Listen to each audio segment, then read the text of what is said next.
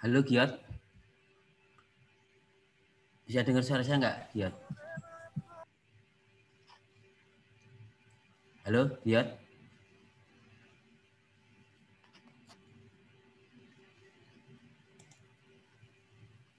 Giot, dengar suara saya nggak ya?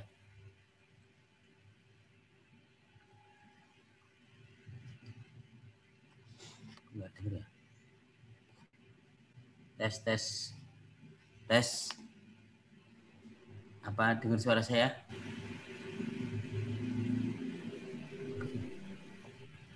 Mas Wi, dengar suara saya kah? Halo, ya jelas, Mas. Oke, gitu. Jelas sekali. Ini sambil nunggu. Nih. Giat, dengar suara saya nggak, Giat? Dengar, Pak. Giat, aku minta tolong ya, teman-teman apa sekelasmu, yang satu kelasmu nanti eh, 325 itu di dimasukkan ya. Oh iya, Pak.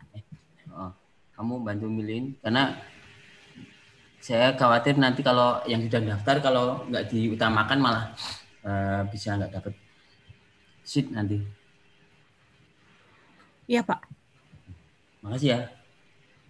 Iya, Pak.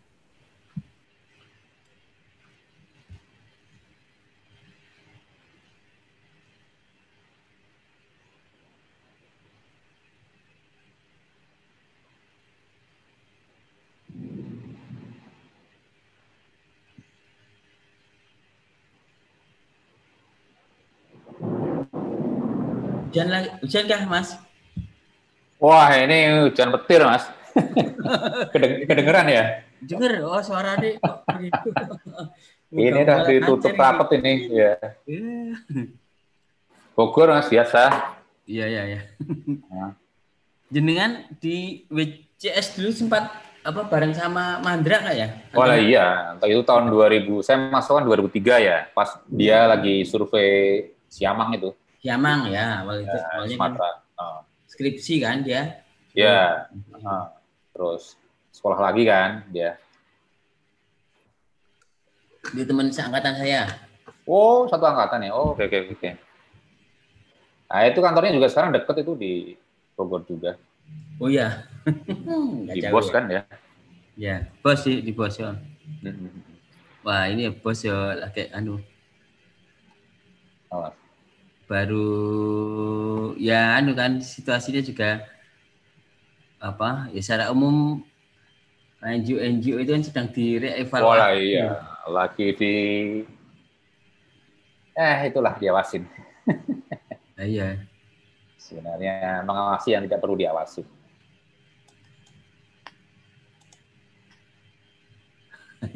Jadi pengawas yang diawasi ya. Iya. Harusnya disupport tapi malah diawasi. Ini sedikit-sedikit saya masukkan eh, beberapa ini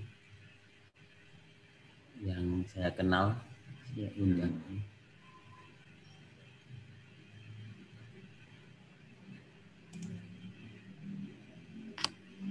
Halo Mbak Siska. Oh, belum masuk. Halo Mbak Siska, Sugeng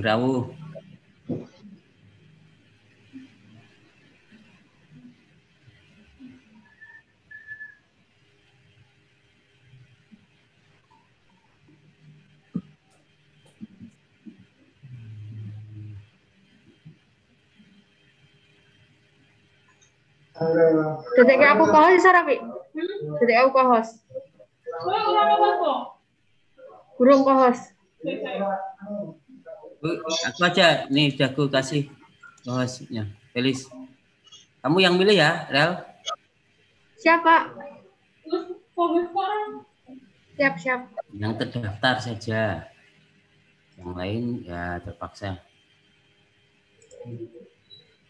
Kok kok tampilannya ini ya, Pi?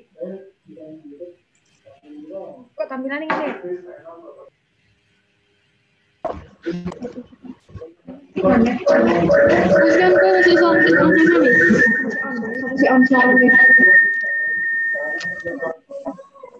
Suaranya di mute dulu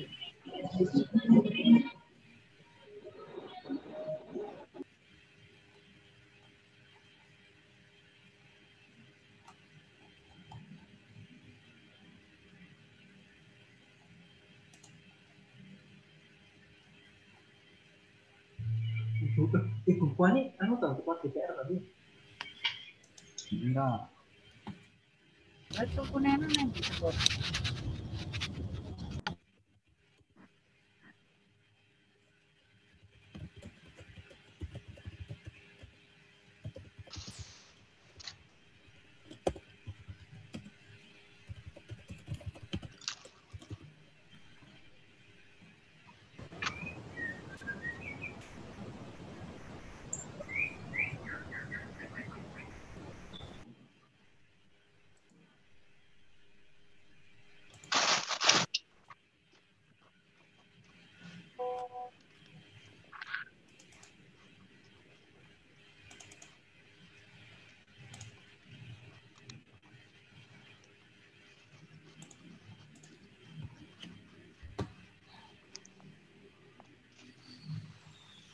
Oke, kita sebentar lagi mulai ya.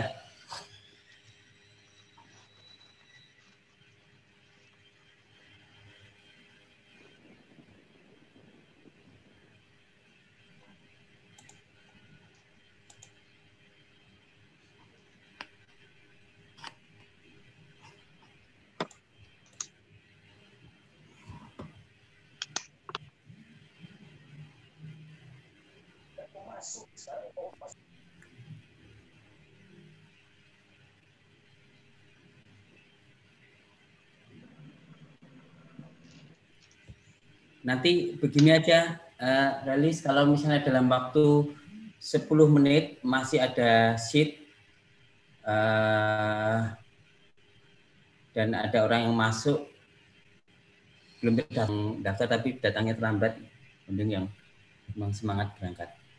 Oke, eh, selamat sore teman-teman semuanya. Eh, Assalamualaikum warahmatullahi wabarakatuh. Waalaikumsalam warahmatullahi wabarakatuh. Pertama-tama saya ucapkan terima kasih kepada Mas Dwi yang sudah meluangkan waktu saya provokasi untuk membantu untuk mengisi mata kuliah eh, konservasi fauna langka. Jadi Mas Dwi ini sedikit cerita dulu. Eh, Fakultas Kehutanan kami eh, di Laboratorium Satwa ini memiliki satu mata kuliah yang eh, apa sangat related dengan apa yang akan disampaikan eh, pada sore hari ini yaitu namanya konservasi fauna langka. Dari materi-materi yang sudah kita berikan ini eh, kami selama setengah semester ini kami sudah belajar terkait dengan faktor-faktor yang menyebabkan kepunahan. Nah, dari yang kami pelajari ini eh, ada dua faktor utama sebenarnya eh, yaitu faktor eh, deterministik dan faktor stokastik. Faktor deterministik ini yang eh, dari laju maupun besarannya itu memiliki fungsi tertentu terhadap eh, laju kepunahan. Artinya semakin besar eh, faktor itu maka semakin besar kemungkinan terjadinya kepunahan. Seperti misalnya eh, kehilangan habitat semakin besar ya, habitat yang hilang maka semakin besar terjadi kepunahannya. Kemudian juga eh, fragmentasi, fragmentasi habitat. Kemudian termasuk juga ini eh, eksploitasi berlebih. Jadi eh, eksploitasi berlebih jadi faktor penting yang menyebabkan terjadi kepunahan yang akhirnya nanti menyebabkan populasi berukuran kecil kemudian sampai menyebabkan eh, apa dampak berupa inbreeding depression dan sampai akhirnya kecil lagi dan akhirnya punah. Ini kami sudah pelajari.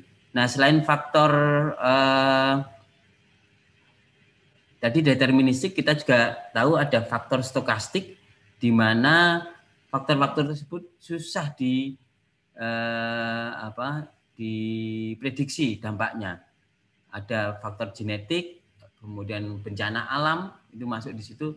Ada juga yang memasukkan faktor perubahan lingkungan itu sebagai eh, faktor stokastik yang tidak bisa diprediksi.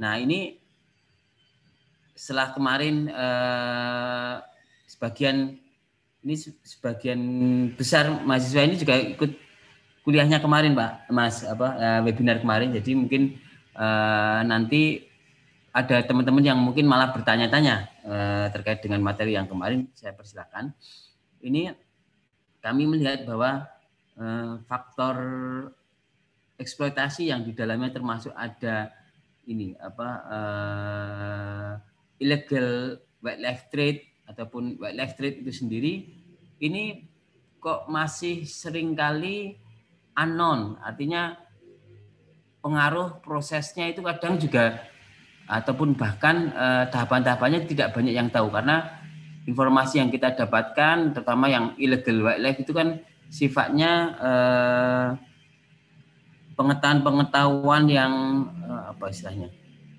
eh, untuk konteks me- mengeksplorasi kriminalitas. Jadi itu kan Rutup eh, ya.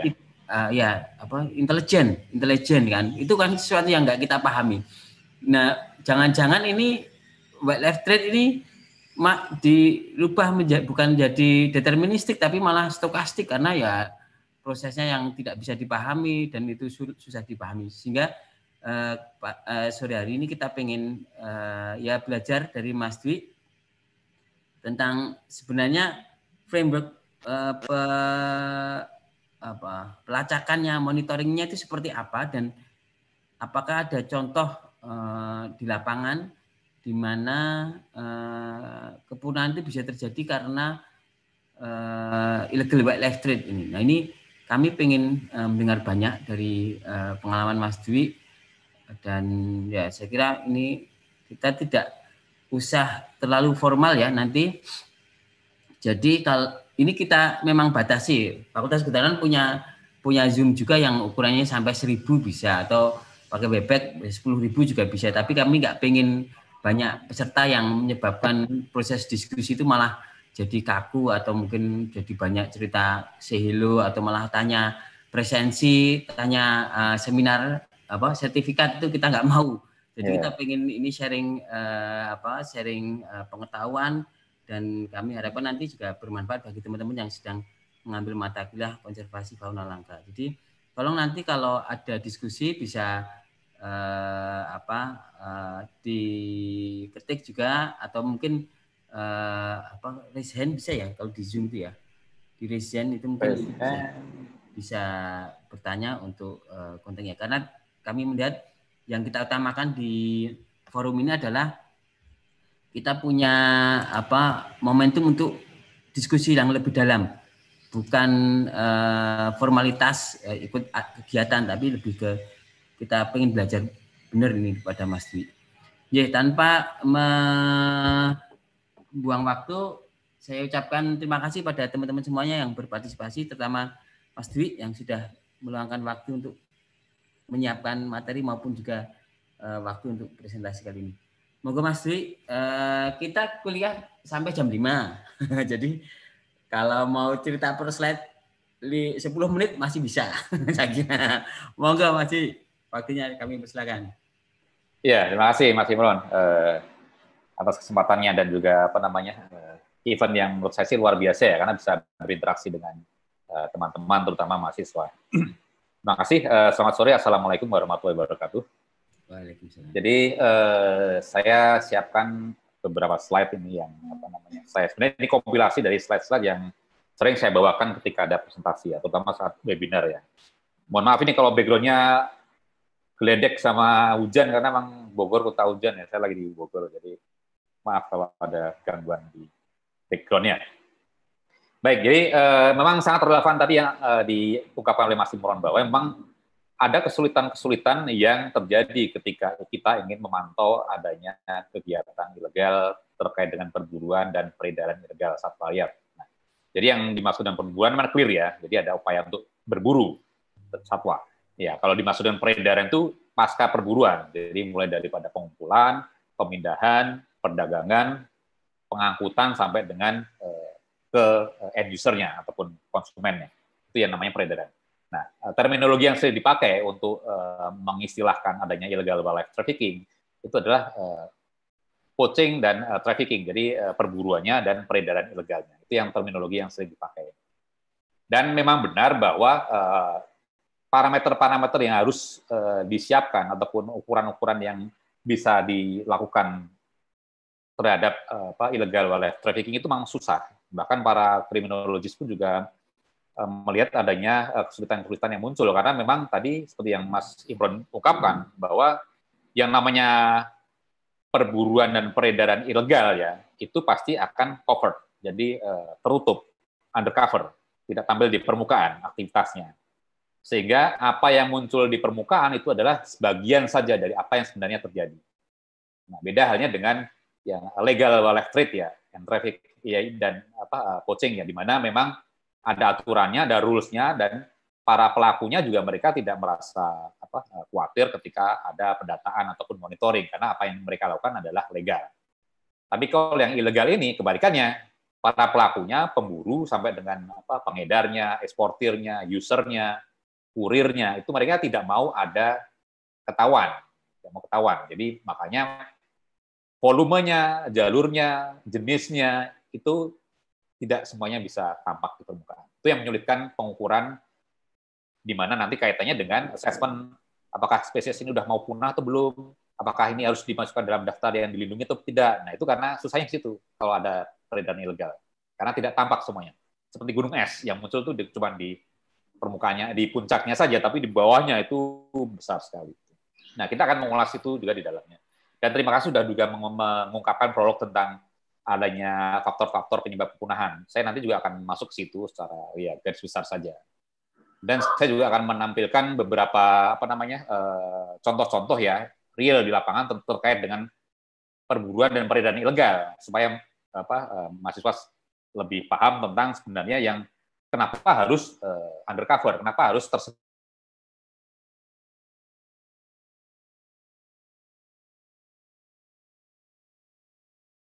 apa namanya takut dengan ketahuan oleh aparat penegak hukum itu nanti bisa saya jelaskan. Oke, sekarang uh, masuk ke slide selanjutnya adalah tentang uh, nilai daripada perdagangan uh, ilegal satwa. Jadi uh, ada banyak uh, apa namanya referensi yang ada, tapi ini saya ambil dari United Nations Environment Program tahun 2016. Jadi mereka melakukan assessment bahwa nilai perdagangan itu antara 7 sampai dengan apa namanya 23 billion US dollar per tahunnya. Kalau di Indonesia masih memang masih ngaco itu ya apa uh, jumlahnya. Karena memang belum ada ukuran yang pasti yang mendekati belum ada. Jadi estimasinya ada yang bilang satu triliun per tahun ada yang 10 triliun per tahun itu macam-macam. Tapi sebagai gambaran saja ya yang poin kedua jadi untuk nilai bisnis burung kicau saja di Indonesia itu kalau yang kemarin Menteri Koperasi dan UKM Kepen itu kan juga sebagai pembina uh, kicau mania itu ya mengungkapkan bahwa nilai bisnis daripada burung kicau sendiri sampai 1,7 triliun per tahun. Kan? Itu baru burung kicau. Dan kita tahu bahwa bisnis burung kicau itu ada unsur-unsur ilegalnya, tidak semua itu legal. Mereka mendapatkan burungnya, mereka mentransport burungnya, jenis burungnya itu uh, tidak semuanya legal. Ada yang dan banyak yang ilegal. Seperti yang foto di kanan itu, itu ilegal semua itu, ribuan burung, lebih dari 10 ribu yang dikirim dari Sumatera ke Jawa untuk apa? Ya untuk masuk pasar burung, untuk keperluan para hobiis burung kicau. Jadi eh, meskipun kegiatan eh, burung kicaunya legal, kita memelihara burung kicaunya eh, resmi, tapi menjadi tidak legal ketika proses perburuannya, pengangkutannya, jenisnya itu ternyata tidak dibolehkan oleh undang-undang. Gitu. Jadi rantai jadi antara kalau kita bilang legal, artinya apa? Dari sumbernya sampai dengan end usernya itu harus, melalui proses-proses yang memenuhi kaidah-kaidah regulasi yang ada. Nah, kemudian ini gambaran tentang jumlah kasus peredaran perburuan ilegal yang ada di Indonesia. Nah, ini saya ambil selama uh, dari tahun 2010 ya, jadi 10 tahun terakhir. Nah, kita ketahui bahwa ternyata banyak apa namanya uh, penangkapan-penangkapan yang dilakukan oleh aparat penegak hukum Indonesia terhadap para pelaku ya, pemburu, pedagang, eksportir dan sebagainya yang secara ilegal deal dengan uh, satwa liar. Jadi kalau kita lihat numbers-nya ya, itu ada ada 11, uh, 1127 operasi penangkapan dalam 10 tahun terakhir. Kan? Nah, itu melibatkan 1.600 lebih pelaku. Jadi satu operasi kadang kan bisa satu kali penangkapan kadang lebih dari satu orang gitu kan. Gitu kan. Jumlah daripada family ya taksonominya uh, spesies yang disita dari operasi itu itu ada 129 uh, family kan. Jadi ada mulai dari uh, mamalia, aves, uh, reptil sampai dengan jenis-jenis ikan itu ada semua situ. Kemudian juga uh, bahkan uh, jumlah jenis spesiesnya pun lebih dari 400 spesies. Coba bayangkan itu. Dengan jumlah yang disita itu lebih dari 20 2100 eh 213.000 eh, item ataupun individu. Nah, jadi ini jadi gambaran kita bahwa sebenarnya Indonesia itu adalah diyakini sebagai sumber daripada perburuan dan peredaran satwa liar. Tidak hanya untuk keperluan domestik. Makanya tidak heran eh, apa namanya reptil yang ada di Indonesia dari Papua itu kita temukan di Australia, gitu kan? Atau sebaliknya, eh, Indonesia juga sebagai pasar buat satwa-satwa yang ada di internasional. Makanya tidak heran ya, kita lihat ada pemelihara burung makau, bahkan pemelihara apa namanya eh, harimau Bengal pun ada. Yang kemarin kasus yang kita temukan tahun 2019 juga ada penyelundupan singa Afrika dan eh, jaguar yang notabene memang di Indonesia tidak ada kan didatangkan dari luar ke Indonesia. Untuk apa? Dimiliki oleh para uh, pemelihara seperti itu. Oke, nah ini yang transnasional, kasus-kasus yang lintas negara. Jadi Indonesia pun jadi pasar untuk uh, negara asing ataupun Indonesia mensuplai negara asing juga. Jumlahnya pun juga tidak sedikit, ada 44 ribu individu uh, satwa liar yang disita, apakah itu dari Indonesia atau dari luar negeri masuk ke Indonesia. Nah, yang jadi catatan penting adalah jumlah yang saya sebutkan tadi itu hanya merepresentasikan sedikit dari apa yang sebenarnya terjadi. Yang tadi saya bilang bahwa fenomena gunung es itu terjadi di perburuan dan peredaran ilegal satwa liar yang ada di Indonesia. Bahkan juga di tempat lain juga sama. Karena tadi itu kegiatannya tertutup. Harus ada upaya-upaya yang sistematis, uh, aman untuk bisa mengukur seberapa dekat fakta yang ada dengan yang kita eh, lihat selama ini. Oke, nah tadi Mas Imron sudah ungkapkan tentang eh, faktor-faktor penyebab kepunahan satwa. Nah ini saya uh, kasih uh, apa namanya lebih lebih uh, simpel saja. Jadi uh, saya sebutkan di sini ada uh, perburuan dan perdagangan yang tidak sustain, tidak sustainable ya. Gitu. Jadi over exploitation ya. Jadi eh, mungkin di, di apa eh, di kuliah sudah diajarkan tentang daya lenting lingkungan kan ya. Jadi kemampuan lingkungan untuk melakukan recovery dari tekanan yang mereka miliki, oleh lingkungan. Nah, endemik artinya dia hanya ditemukan pada skala geografis yang tertentu. Bisa itu skala geografisnya kecil atau bisa eh, besar. Tapi sebenarnya itu juga mempengaruhi apa, eh, barrier geografis itu mempengaruhi adanya apa namanya eh, kepunahan apalagi memang faktor endemisitas itu justru yang dicari-cari para kolektor gitu kan. Semakin endemik, semakin sedikit uh, ditemukan di tempat-tempat tertentu, maka nilainya, value-nya semakin mahal. Nah, sayangnya ketika uh, itu terjadi, maksudnya uh, ketika satwa itu endemik, ditemukan di tempat yang paling sedikit, biasanya itu sudah dilindungi. Itu problemnya. Karena memang uh, tidak punya uh, apa namanya uh, Eh, apa namanya uh, uh, tidak ditemukan tempat lain gitu. Seperti halnya misalkan komodo ya. Ada penelitian kalau misalkan uh, teman-teman baca, kenapa komodo kok hanya ditemukan di pulau-pulau kecil saja di uh, NTT ya, NTT itu, itu itu ada yang meneliti itu. Nah, ternyata jawabannya juga cukup mencengangkan karena ternyata mereka tuh karakternya malas untuk bergerak. Jadi lebih mementingkan family, family gatheringnya gitu. Nah, itu yang buat mereka tidak tersebar ke mana-mana. Ya karena mereka pengennya kayak kumpul-kumpul saja di situ-situ aja. Nah itu. Nah itu juga ketika ada perburuan ataupun eksploitasi komodo akan berisiko tinggi terhadap kepunahannya. Kemudian tadi Mas Imron sudah sebutkan tentang habitat loss ya, pasti itu ya.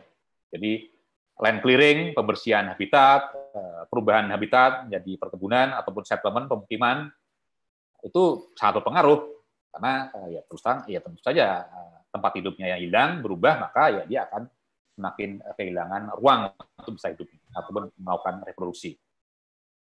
Kemudian juga natural disaster ya ataupun disease penyakit itu juga terjadi. Kalau misalkan teman-teman menyimak ada kasus saya pikir setahun atau dua tahun lalu ya di mana populasi katak drastis eh, hilang di eh, di sebagian besar tempat di apa eh, di luar negeri karena adanya eh, disease apa eh, jamur yang menempel di eh, lapisan kulit katak sehingga kotak tidak bisa memaksimalkan kemampuan untuk bernafas melalui kulitnya apa eh, kulit eh, tubuhnya sehingga dia akan mati.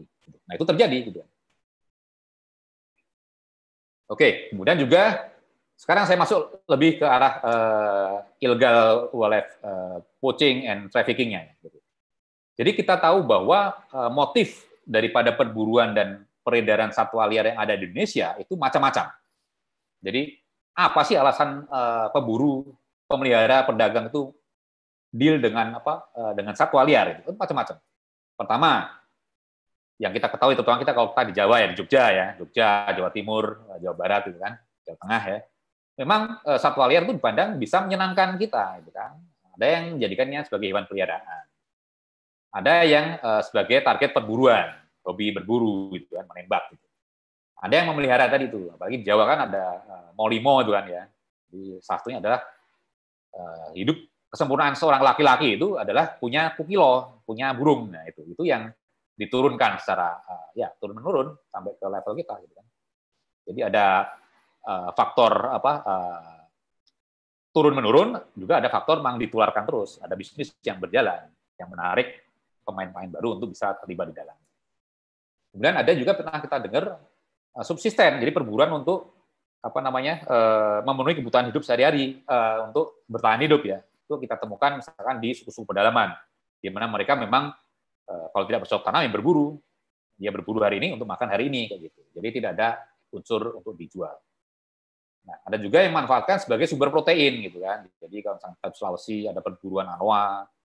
Dan kalau kita lihat di eh, kalau misalnya ada yang dari Sulawesi Utara itu di Minahasa Utara itu memang praktek-praktek yang wajar untuk bisa memakan satwa liar yang didapat dari uh, hutan, baik itu di Sulawesi Utara ataupun di tempat lain yang disuplai ke uh, apa namanya uh, ke Sulawesi Utara. Jadi uh, bushmeat ataupun daging satwa liar itu sebagai sumber protein. Nah, sayangnya ada beberapa jenis di antaranya adalah yang sudah dilindungi kayak gitu. Kemudian juga uh, alternatif pendapatan, gitu kan. Jadi mereka punya pekerjaan utama, petani, pedagang, tapi juga mereka nyambi, gitu kan istilahnya. Nyambi berburu, nyambi apa, berdagang satwa yang dilindungi. Untuk apa? Untuk nambah penghasilan. Gitu. Kemudian juga, eh, terutama untuk para pebisnis ya, mereka memandang bahwa satwa liar itu adalah sebagai komoditas yang menguntungkan. Itulah kenapa ada praktek-praktek perdagangan di domestik ataupun di internasional. Kenapa? Karena mereka memandang bahwa satwa liar itu adalah sebagai komoditas yang menguntungkan. Sama seperti misalkan polo hijau dan sebagainya. Nah, karena ada sebagian di antara yang dilindungi, maka ya sebagian daripada praktek-praktek perdagangan itu artinya otomatis ya ilegal juga. Kemudian eh, medisin untuk keperluan obat-obatan itu kita paham ya. Jadi kalau di daerah-daerah kita tahu ada tabib, ada dukun gitu kan, terutama di Sumatera ataupun di Kalimantan itu mereka sering memanfaatkan bagian-bagian tubuh satwa atau di Cina ya ada istilahnya traditional Chinese medicine jadi mereka memang meracik dari bagian-bagian tubuh satwa tulang harimau eh, kemudian apa namanya eh, sisik terenggiling banyak lagi jenis yang lain untuk dijadikan ramuan obat-obatan untuk keperluan menyehatkan badan gitu. Nah, sementara di modern eh, medicine pun juga banyak. Contohnya ya, misalkan apa namanya yang sekarang lagi populer itu darah dari uh, horseshoe crab ya. Jadi kalau bahasa Jawanya itu mimi, mimi tuno itu. Itu dipakai untuk uh, bahan sebagai salah satu bahan untuk membuat vaksin uh, COVID-19. Nah, praktek-praktek itu memang berisiko terhadap uh, ancaman populasi satwa liar yang ada di alam. Oke, kemudian selanjutnya juga Eh, motifnya perburuan juga karena mereka memandang bahwa ada jenis-jenis satwa tertentu itu dianggap sebagai hama. Contohnya misalkan di Sumatera, Sumatera ataupun sedikit di eh, Kalimantan, kalau kita bicara tentang eh, beruang ya. Nah, kalau di Sumatera jelas sekali misalnya gajah ya. Gajah itu kan mereka lintasan teritorialnya tertentu saja. Jadi gajah itu tidak tidak tidak sembarangan mereka berjalannya. Mereka melewati jalur yang sama terus kalau dulu jalur jalurnya itu berupa hutan, sekarang karena banyak pemukiman, banyak perkebunan, maka gajah tidak mau bergeser daripada jalurnya. Dia akan tetap merambah melewati kampung, melewati eh, perkebunan. Nah, gajah kan sebenarnya juga sama, satwa itu sebenarnya sama. Eh, prinsipnya dengan manusia, mengefisienkan energi untuk bisa meneruskan hidupnya ya. Jadi ketika di jalurnya itu ada singkong, ada tebu, ada padi, ya dia makan aja kan gitu. Mengapain saya harus cari makanan di jauh-jauh ketika di jalur saya pun ada makanan yang tersedia. Nah, itulah kenapa kemudian ada konflik. Kemudian masyarakat menganggap bahwa itu adalah hama. Eh, gajah merusak tanaman padi saya. Harimau eh, menerkam kambing ataupun sapi saya, maka saya harus membunuhnya. Nah, itulah kenapa itu terjadi. Tapi kemudian sering kali itu ditunggangi dengan para pelaku-pelaku pemburu yang memang diminta untuk membunuh atau pemburu yang kemudian melihat situasi kan. Biasanya kalau ada konflik satwa harimau atau gajah itu kan masuk ke berita. Lokasi di sini, sini, sini. Maka pemburu akan menuju ke lokasi itu. Pasang jerat, tembak, ataupun pasang racun. Harimau-nya mati, gajahnya mati, diambil gadingnya atau kulitnya diambil untuk diperjualbelikan. Itu yang terjadi di daerah-daerah yang konflik ya, jadi konflik antara satwa dan manusia. Eh, nah, kemudian ada juga eh, memelihara bagian-bagian tubuh satwa ataupun mengkonsumsi itu untuk keperluan lifestyle, gaya hidup. Jadi kalau kita lihat ada beberapa, saya bukan nggak nggak susah itu menemukan ketika ada wawancara ya para petinggi kita, kemudian para bahkan paranormal pun mereka diwawancarai oleh TV di belakangnya ada offsetan harimau. Untuk apa? Untuk pride mereka, kebanggaan mereka. Sebagai status mereka bahwa mereka eh, dari high class, punya punya uh, awetan harimau. Ada juga yang memanfaatkan memakan uh, makanan satwa satwa dilindungi sebagai makanan yang berkelas kayak gitu. Misalkan ya itu tadi, uh, misalnya satunya cula harimau, eh, cula, gad, cula badak yang digerus kan, dikasih air, diminum, dipinam itu terjadi. Atau misalkan uh, sirip hiu yang lazim kita temukan. Itu luxurious food, makanan berkelas. Untuk orang yang bisa makan adalah orang-orang yang punya uang kayak itu. Kemudian ada juga yang karena tradisi, apa budaya, kebiasaan. Gitu kan. Jadi misalkan uh, di Lamalera misalkan ya perburuan paus untuk tradisi, selain juga untuk memenuhi kebutuhan mereka. Selama itu tidak dimasuk ke dalam ranah komersial, memang masih ada uh, dispensasi dari pemerintah ataupun dibolehkan pemerintah. Karena memang itu sustain ya, karena pemanfaatannya tidak banyak apa namanya sustainable, jadi tidak tidak berlebihan. Tapi ketika praktek-praktek yang mengatasnamakan culture, mengatasnamakan budaya itu kemudian dimanfaatkan dengan menjual bagian-bagian tubuh satwa itu, maka itu sudah masuk ke dalam ranah pidana, sesuatu yang tidak boleh secara undang-undang. Kemudian ini kalau yang terjadi itu yang yang saya maksud dengan pseudo hunting itu adalah eh, kita paham ya kalau misalkan ada satwa mati itu kan ada yang bagian-bagian yang kadang disimpan ya. Misalkan gading harimau, eh gading gajah disimpan. Misalkan eh, harimau terbunuh, taringnya disimpan. Stockpile namanya itu stockpile. Nah, itu sering kali masuk ke pasar gelap gitu kan. Harusnya itu disimpan oleh pemerintah secara aman, ternyata bocor. Ada yang menjual, ada oknum dan sebagainya. Masuk pasar dan sebagainya. Nah, itu yang terjadi. Jadi tidak selalu uh, satwa atau bagian-bagian satwa yang dijual di pasar itu berasal dari alam. Tapi juga yang dari penangkaran juga ada, dari kebun binatang juga ada. Yang masuk secara ilegal. Nah ini contohnya, uh, saya banyak foto di sini supaya lebih memudahkan pemahamannya. Ini motifnya, motif-motif yang sering kita temukan ya. Jadi motif orang berburu itu ini yang kelihatan di ember itu adalah daging pari manta yang sudah dikeringkan. Pari manta kan jenis pari yang lebarnya sampai 5 sampai 7 meter itu uh, sudah dilindungi oleh Kementerian Kelautan dan Perikanan jadi kalau di NTT itu dijual, sekarang udah jarang ya, karena udah banyak penegakan hukum ya. Dijual, dikeringkan dagingnya, kemudian eh, apa namanya insangnya dikeringkan juga untuk dijual ke Cina sebagai eh, campuran obat-obat tradisional sana. Kemudian ada juga motif yang lain adalah untuk hobi tadi. Jadi makanya kita temukan banyak ini, terutama di Jawa, Sumatera juga ada. Pasar-pasar burung ya, yang menjual berbagai jenis satwa, tidak hanya burung tapi juga mamalia juga ada, reptil juga ada, bahkan satwa domestik nggak ada juga. Motifnya apa? Ya untuk kesenangan, hiburan, dipelihara di rumah gitu kan, di kandang dan sebagainya. Nah ini yang uh, di Sulawesi Utara, di Minahasa Utara. Jadi di sana memang busmit uh, hal yang lazim dilakukan, terutama di weekend ataupun di hari-hari besar mereka. Kan. Jadi ya uh, daging-daging satwa liar dari ular python, babi rusa, babi, eh, yaki, eh, kelelawar itu hal yang lazim kita temukan di sana. Bahkan dijadikan eh, ajang wisata, wisata di sana. Nah, sayangnya memang ada beberapa jenis yang dilindungi, makanya peran daripada inspeksi di pasar itu penting sekali memastikan bahwa pedagang itu tidak memperjualbelikan satwa liar yang dilindungi. Nah ini apa ini? Ini adalah tergiling yang sudah dikulitin, sudah dibekukan, dan akan diekspor secara ilegal ke luar negeri. Ini terenggiling dari Indonesia. Kita tahu bahwa terenggiling itu hidupnya hanya ada di Sumatera, Jawa, dan Kalimantan. Untuk Indonesia ya. Nah ini dijual ke Cina. Untuk apa? Untuk luxurious food tadi, makanan berkelas, dan juga untuk bisa mereka punya belief ya, kepercayaan bisa uh, me, apa ya, meningkatkan metabolisme tubuh. Gitu kan. Nah, kalau sisi tergilingnya itu untuk laktasi, memperlancar air susu ibu. Jadi belief-belief tadi itu yang tanpa sering kali tanpa didukung oleh apa uh, scientific uh, evidence itu dijadikan alasan mereka untuk meneruskan melanggengkan uh, kegiatan ilegal ini. Kemudian ini tadi yang saya sebutkan motifnya adalah untuk uh, bahan obat-obat tradisional baik itu tradisional ataupun uh, obat-obatan modern. Yang kanan itu adalah uh, Mimi Mintuno tadi itu diambil darahnya, darah birunya. Jadi darahnya darahnya itu biru dia. Karena banyak mengandung apa itu saya lupa. Jadi untuk apa kepentingan vaksin. Yang kiri itu pil bentuknya pil yang diklaim ini uh, mengandung uh, apa namanya? Uh, dia bilangnya armadillo tapi gambarnya terenggiling kayak gitu. Jadi memang perlu ada pengujian yang lebih detail. Benar nggak itu armadillo atau benar nggak ini dari terenggiling? Nah ini tadi yang saya bilang dianggap sebagai hama gitu kan. Jadi harimau dijerat karena makan ternak atau gajah diracun ya. Jadi di jalurnya itu dipasang racun, misalkan nanas dicampur dengan racun babi, tinggal diamin aja gitu kan. Gajah makan berapa puluh meter nanti akan mati. Dan sering kali gadingnya udah nggak ada kan gitu. Itu yang terjadi.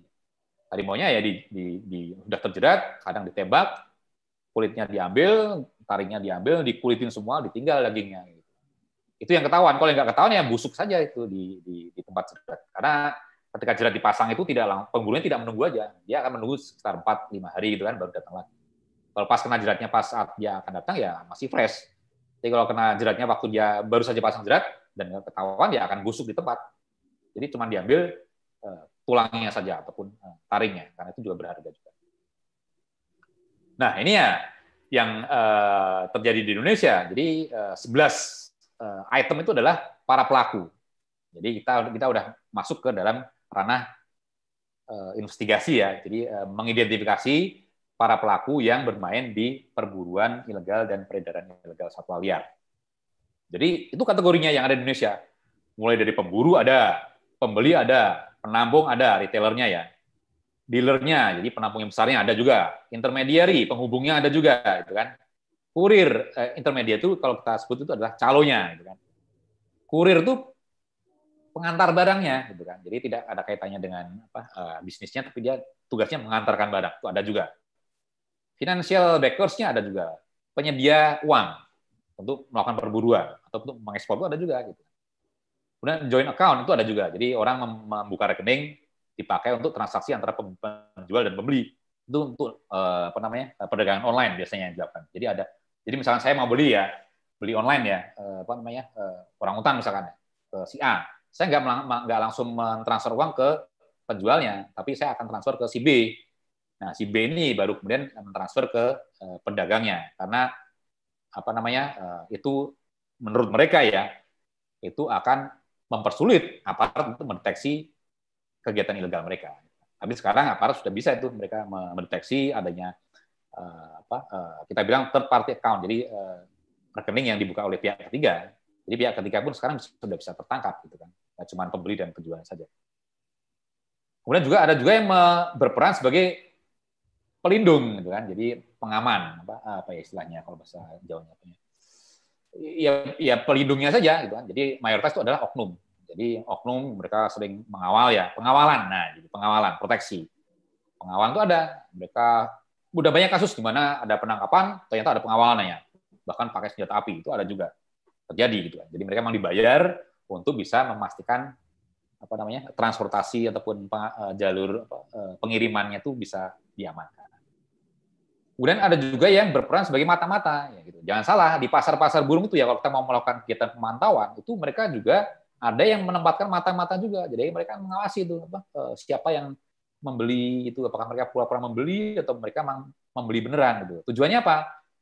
Ya karena mereka tahu bahwa apa yang mereka perdagangkan itu sering kali ada yang dilindungi. Jadi mereka tidak mau ada eh, apa namanya? Eh, penangkapan. Nah, untuk bisa mengetahui ada tidak penangkapan, mereka menempatkan mata-mata. Jadi mereka mengawasi itu para para pembeli yang masuk gitu kan.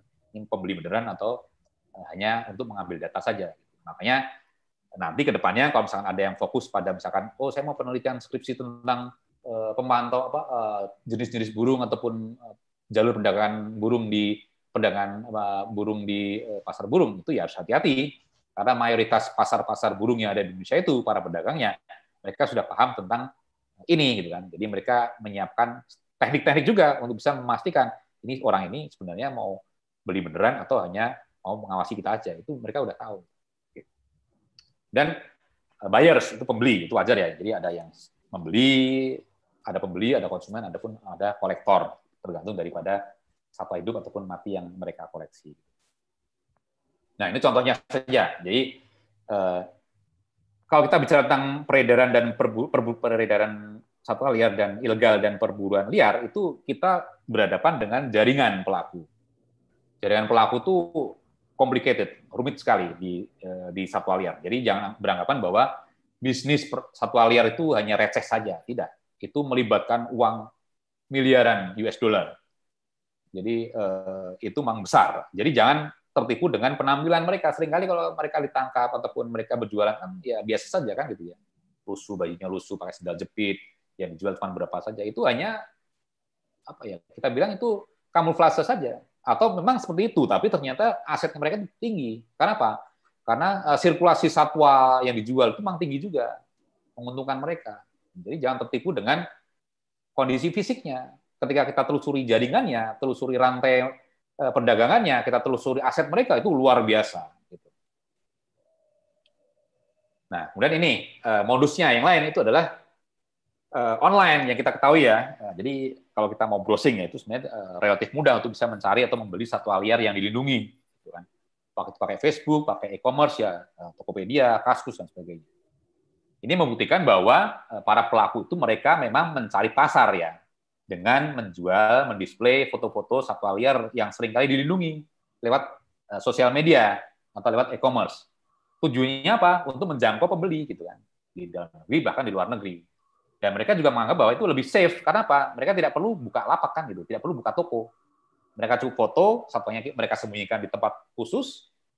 Ada pembeli, nah tinggal WA, transfer uang, dikirim lewat ekspedisi, udah selesai.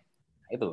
Dan uh, sekarang ini ya, uh, sehubungan dengan pandemi, uh, transaksi penjual beli online itu semakin meningkat. Karena apa ya? Memang ini yang memudahkan mereka. Karena apa? Kan banyak sekali pembatasan-pembatasan transportasi ya, apa perjumpaan pasar juga diawasi ketat. Kan? Jadi mereka lebih aman, secure kalau pakai uh, modus online. Kemudian juga modus yang sering kita temukan adalah pemalsuan dokumen. Gitu kan? Jadi ini contoh yang foto ini. Foto ini kita ambil di Sumatera Selatan. Jadi uh, untuk ekspor ya. Jadi kalau kita mau ekspor itu harus ada uh, bill of lading-nya, dokumen yang mencantumkan dari perusahaan mana, isinya apa, berapa jumlahnya kayak itu di dalam dokumennya disebutkan mereka company ini mereka hanya me mengekspor frozen fish ikan beku. Tapi ketika dicek ternyata adalah uh, apa namanya uh, daging terenggiling beku, beku, jadi terenggiling beku ya, yang dicampur dengan frozen fish. Nah, itu yang sering terjadi prakteknya. Dokumennya asli, tapi uh, apa namanya uh, isinya uh, itu manifestasinya itu tidak benar. Ini contoh juga. Jadi zoo kebun binatang itu juga sebagai tempat untuk pencucian, tempat untuk jual beli sumber daripada bagian-bagian tubuh satwa ataupun satwa hidup untuk dijual perjualbelikan.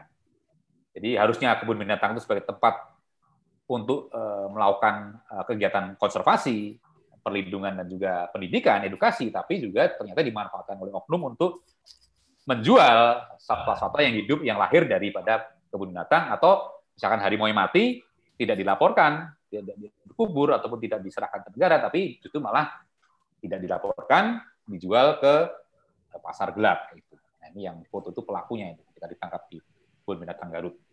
Mas Dwi, ya? kita break sebentar. Oke, okay, silakan. Kami persilakan kalau hmm. ada teman-teman ingin uh, bertanya, konfirmasi. Kemarin kan kita sudah uh, sharing tentang anu ya, tentang uh, sharing link YouTube ya yang bisa di sudah dipelajari masing-masing. Ya. Monggo, saya persilakan. Ini bisa tinggal unmute sepertinya. Silakan kalau ada yang bertanya.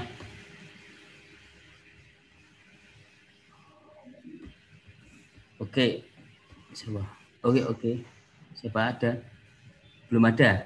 Oke, eh, Mas Dwi, ini saya tadi kan kalau dalam konteks apa? eh, nah ini ada yang bertanya ini. Saya, anu, Nurrohim silakan ini aja di unmute, terus disampaikan saja langsung. Ya.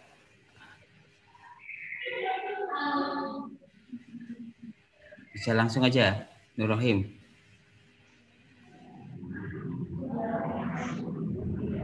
nggak bisa anu ya speakernya ini mic-nya oh yaudah. Saya bacakan Mas Dwi. Ini ada pertanyaan dari Nurrohim apakah kebiasaan masyarakat akan kebutuhan daging satwa unik bisa ditekan? Tadi mungkin kaitannya dengan eh, ini lebih ke bushmeat ya. Hmm. Eh, untuk Ya. konsumsi ya daging sebagai konsumsi. Tapi kok eh, tapi yang unik-unik yang istilahnya yang apa yang ekstrim kalau di Jogja itu kadang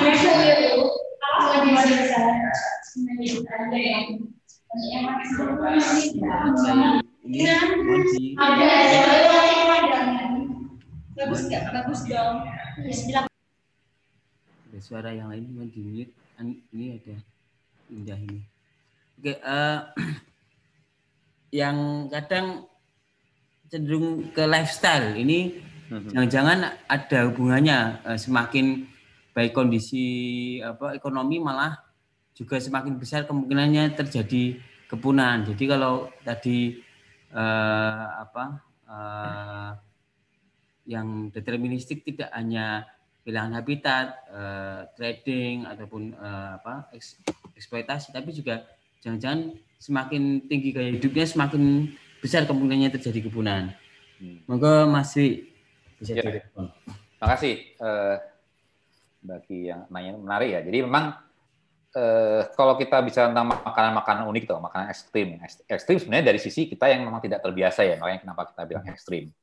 Tapi kalau bagi yang terbiasa itu hal yang wajar kan gitu. Misalnya kita bilang Asia Utara kan mereka juga makan tikus hutan, eh, ular python, kemudian kelelawar, di mana menurut kita ekstrim, tapi menurut mereka ya wajar sama seperti kita makan daging ayam kayak gitu ya. Jadi sebenarnya itu adalah eh, ter- terkait dengan habitnya, jadi kebiasaan yang mereka lakukan. Sebenarnya memang kalau kita bicara tentang konservasi ya, itu memang tidak terlepas daripada eh, jadi konservasi itu tidak hanya mengawetkan ataupun mem- mempertahankan ataupun eh, melindungi ya, tapi juga memanfaatkan. Itu yang perlu kita kasih penekanan ya. Jadi memang eh, namanya konservasi itu ya preservation ya, kemudian eh, pemanfaatan tapi memang harus eh, sustain tadi yang saya bilang. Itulah kenapa kalau kita tentang bicara tentang apa eh, praktek-praktek ekstrim, sebenarnya itu kita kembalikan saja ke, ke mereka. Kalau mereka merasa itu hal yang wajar ya silahkan saja kan gitu. Tapi ketika itu kemudian eh, terkait dengan satwa dilindungi ya nggak boleh gitu kan. Nah, jadi eh, kaitannya dengan status satwanya. Jadi eh, kalau itu udah kalau sang ekstrimnya memakan eh, orang hutan, misalkan kalau di beberapa, tempat di eh, Sumatera itu kan ada yang memakan orang hutan juga. Itu ya nggak boleh. Jadi bukan dari sisi ekstrim, tapi memang dia uh, para para konsumennya itu melakukan hal yang ilegal karena itu jenis yang dilindungi oleh undang-undang. Nah, kemudian terkait dengan misalkan praktek-praktek bushmeat yang uh, besar di misalnya Sulawesi Utara ya, itulah kenapa perlu adanya uh, scientific evidence, jadi bukti-bukti sains yang bisa menjelaskan, membuktikan bahwa pemanfaatan bushmeat oleh para apa konsumen di sana itu ternyata sudah pada level yang mengkhawatirkan atau tidak. Jadi misalkan kita bicara misalkan tentang kelelawar ya, harus ada eh, penelitian yang dilakukan oleh para peneliti ya, yang yang yang bisa membuktikan bahwa apakah pemanfaatan konsumsi eh, misalkan kelelawar sekarang ini sudah dalam taraf mengkhawatirkan bagi populasinya atau misalkan masih bisa diteruskan sampai dengan sekian tahun ke depan. Itu yang perlu di eh, lakukan supaya itu bisa menjadi referensi bagi pemerintah ya untuk bisa memastikan kalau misalkan oke okay, ternyata kelelawar jenis A itu sudah pada taraf yang mengkhawatirkan populasi di alam maka pemerintah bisa menindaklanjutinya dengan misalkan oh jenis ini harus tidak lagi diperbolehkan untuk diperjualbelikan. Jenis ini harus dilindungi tidak boleh lagi ada lagi di pasar. Nah itu yang dipenting dia perlukan sekarang ini gitu kan. Jadi jadi eh, kalau terkait dengan ekstrim tidaknya itu sebenarnya lebih lebih ke arah etiknya ya. Jadi eh, apa eh, cara orang itu memandang atau misalnya kalau kita bicara religi ya eh, agama ya ada beberapa jenis satwa yang memang tidak diperbolehkan dimakan kan gitu. Itu kaitannya dengan eh, ekstrim tidaknya tadi ya. Tadi kalau kita bicara tentang eh, boleh tidaknya dimakan dalam versi aturan ya regulasi tadi itu selama eh, satwa liar itu populasinya masih aman-aman saja ya silakan tidak tidak ada masalah buat apa uh, apa namanya uh, dikonsumsi ya. Tapi ketika uh, satwa yang dikonsumsi itu dilindungi atau sudah seharusnya dilindungi karena sudah ada scientific evidence, maka uh, pemerintah segera bisa menyiapkan payung hukumnya bahwa jenis ini tidak boleh lagi dimakan. Bahkan ini jenis yang ekstrim, hal yang wajar dimakan oleh masyarakat setempat atau enggak, bukan lagi urusannya. Yang penting ini sudah kritis nih populasinya di alam, tidak boleh lagi dikonsumsi. Ya harus pemerintah harus menetapkan bahwa jenis ini dilindungi. Contohnya misalkan di Minahasa Utara ya. Minahasa Utara itu eh, mereka sekarang masih beberapa kali ditemukan ada eh, peman, apa, konsumsi yaki ya, apa, eh, makaka Sulawesi, makaka nigra, sering kita apa pernah kita temukan juga kuskus Sulawesi atau babi rusa. Nah, ketika ada temuan itu artinya apa? Artinya ilegal. Pelakunya, pemburunya, pedagangnya itu bisa ditangkap karena karena mereka melakukan tindak pidana. Tapi kalau jenis yang lain selama itu masih tidak mengganggu populasi ya silahkan saja. Jadi saya bicara tentang apa uh, dari sisi uh, boleh tidaknya uh, legal atau ilegalnya di situ. Gitu. Itu Mas Imran.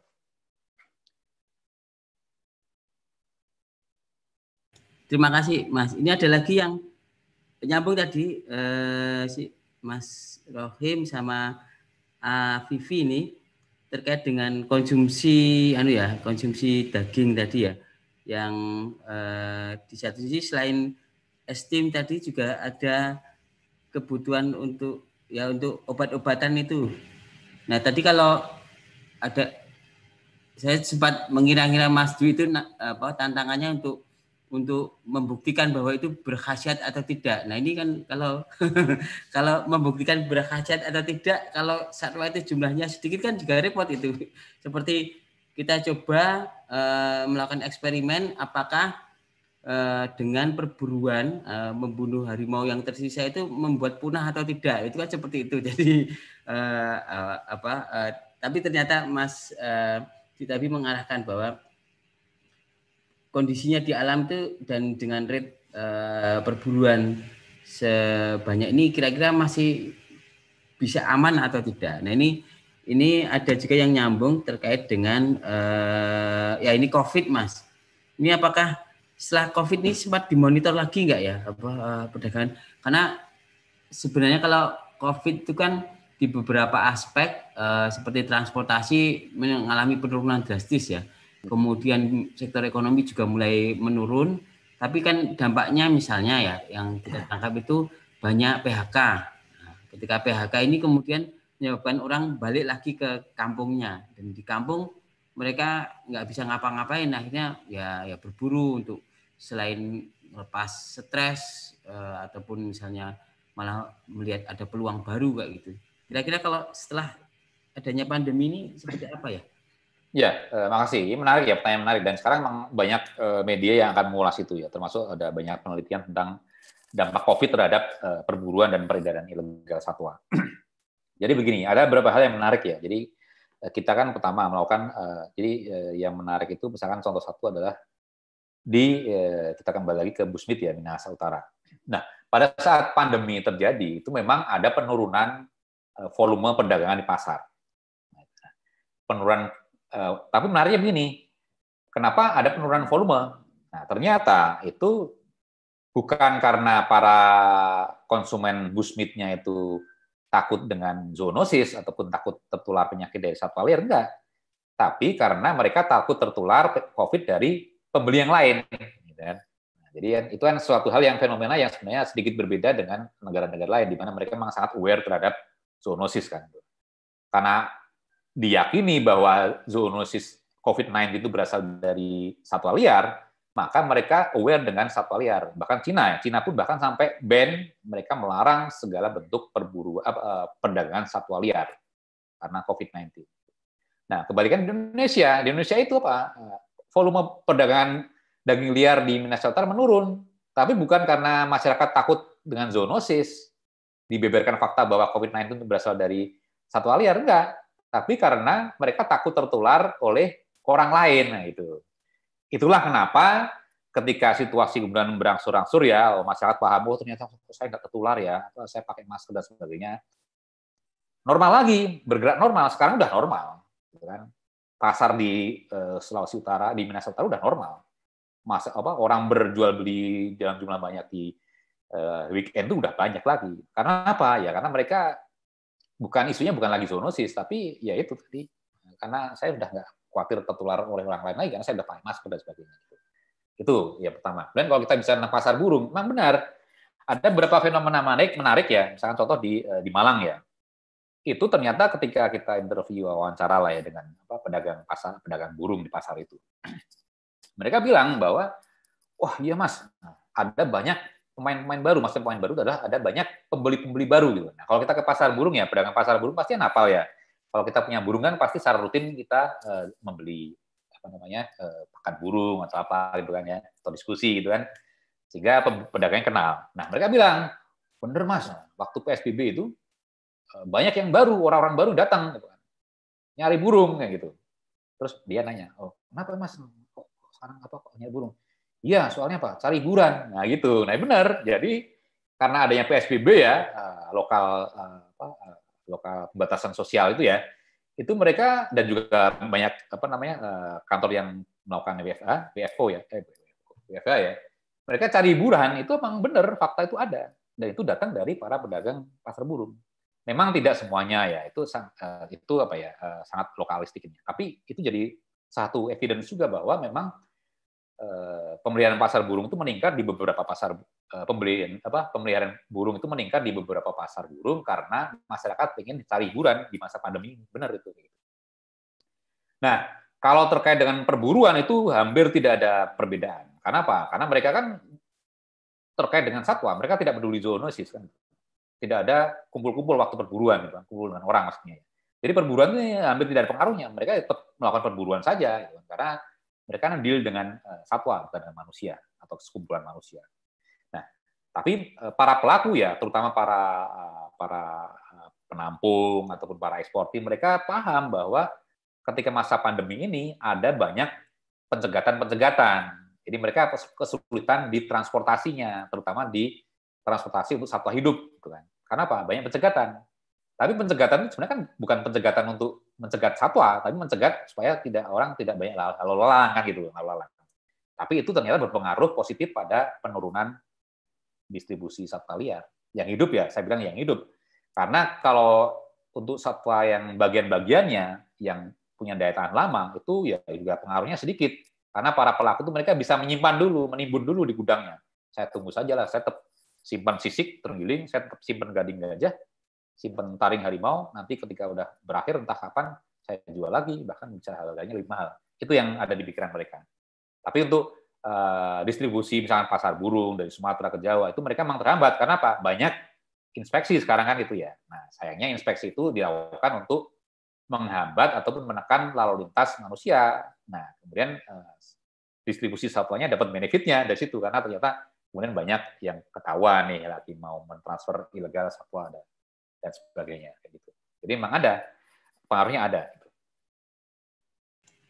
Kalau anu ini pertanyaan dari saya, kalau di satwa liar udah termasuk yang ilegal wildlife itu kayak di tanaman nggak mas? Kan sekarang kan ada tanaman yang nilainya fantastis itu. Kayaknya kalau satwa itu agak stabil ya. Uh, kalau satwa memang apa ya? Justru mengalami tekanan mas karena hmm. mayoritas ya itu tadi ada ada ada apa ya ada banyak batasan-batasan ya. Nah yang luar biasa justru tanaman benar itu kan? Hmm. saya bahkan ya saya lihat sendiri mas ya. Kalau saya eh, dua minggu lalu ya saya sudah pergi ke Curunangka untuk motret ya.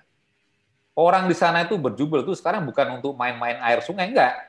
Tapi merambati tebing-tebing nyari tanaman gitu hmm, ya. jadi nyabutin itu namanya yang talas-talas yang belum gak ada harganya itu kan dicabutin itu dikasih pot yang bagus dijual tiga puluh ribu sampai seratus ribu dan sebagainya itu ada jadi memang dan saya juga sempat, saya kan suka tanaman juga ya. Saya sempat uh, apa ya uh, ngobrol-ngobrol lah dengan para pelaku tanaman hias di Bogor itu. Semua bilang, Mas, pandemi ini adalah berkah buat kita. Karena apa? Ya naik sekali gitu kan. Kita bawa isu bahwa tanaman ini harganya mahal, wah langsung itu drastis itu. Sama.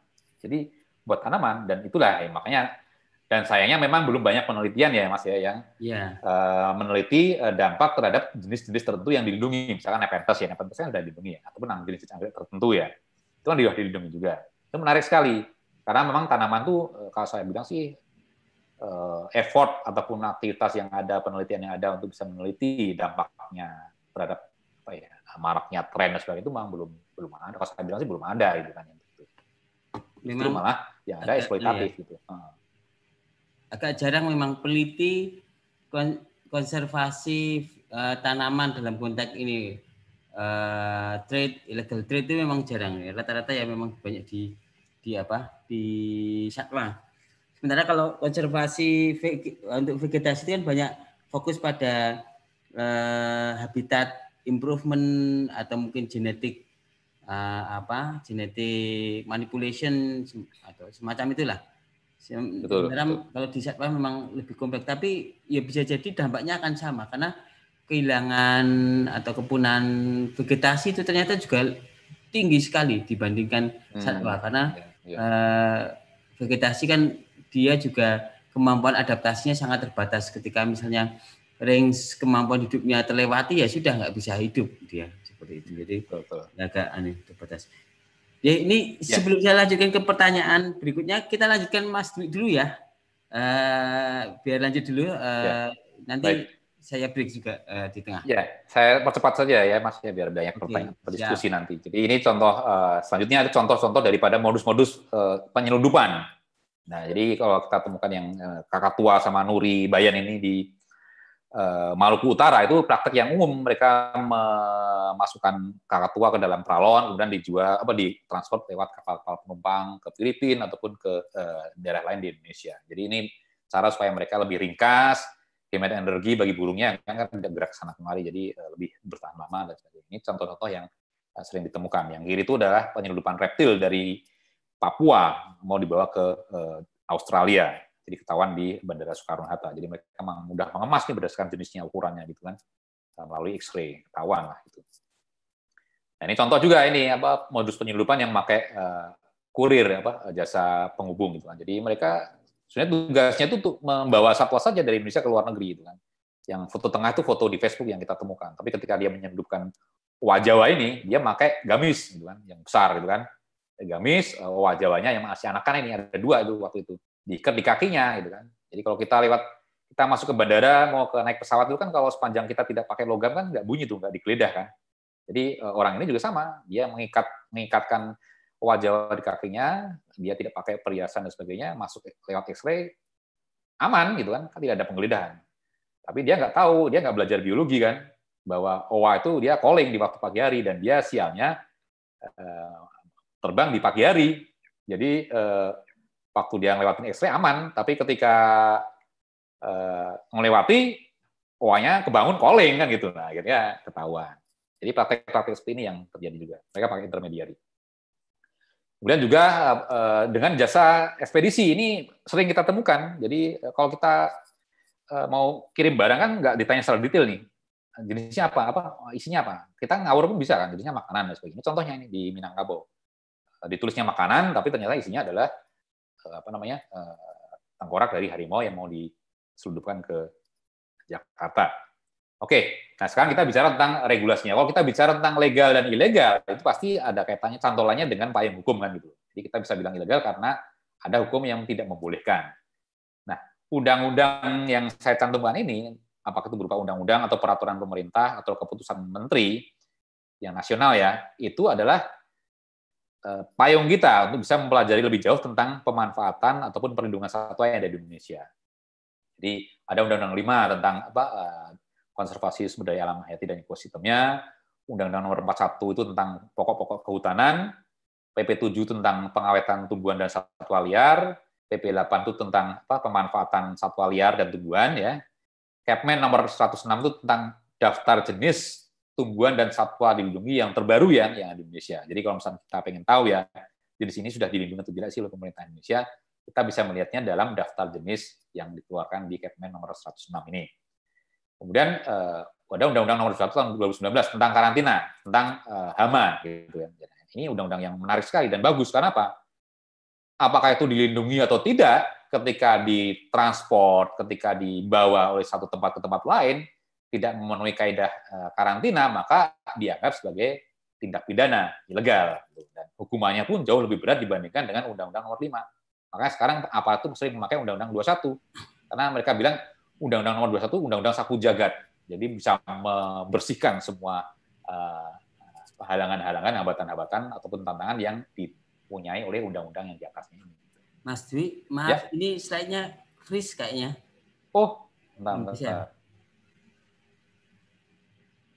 Bisa, Mas? Belum, masih masih uh, kakak tua yang di Oh, entar nih, saya, saya coba lagi. Udah belum? Belum, belum. Coba di escape uh, keluar dulu kah? Oh, keluar dulu ya. Oke, bentar. Oke. Bilang. Oh, ya stop ya. Oke, bentar saya mulai lagi ya. Uh,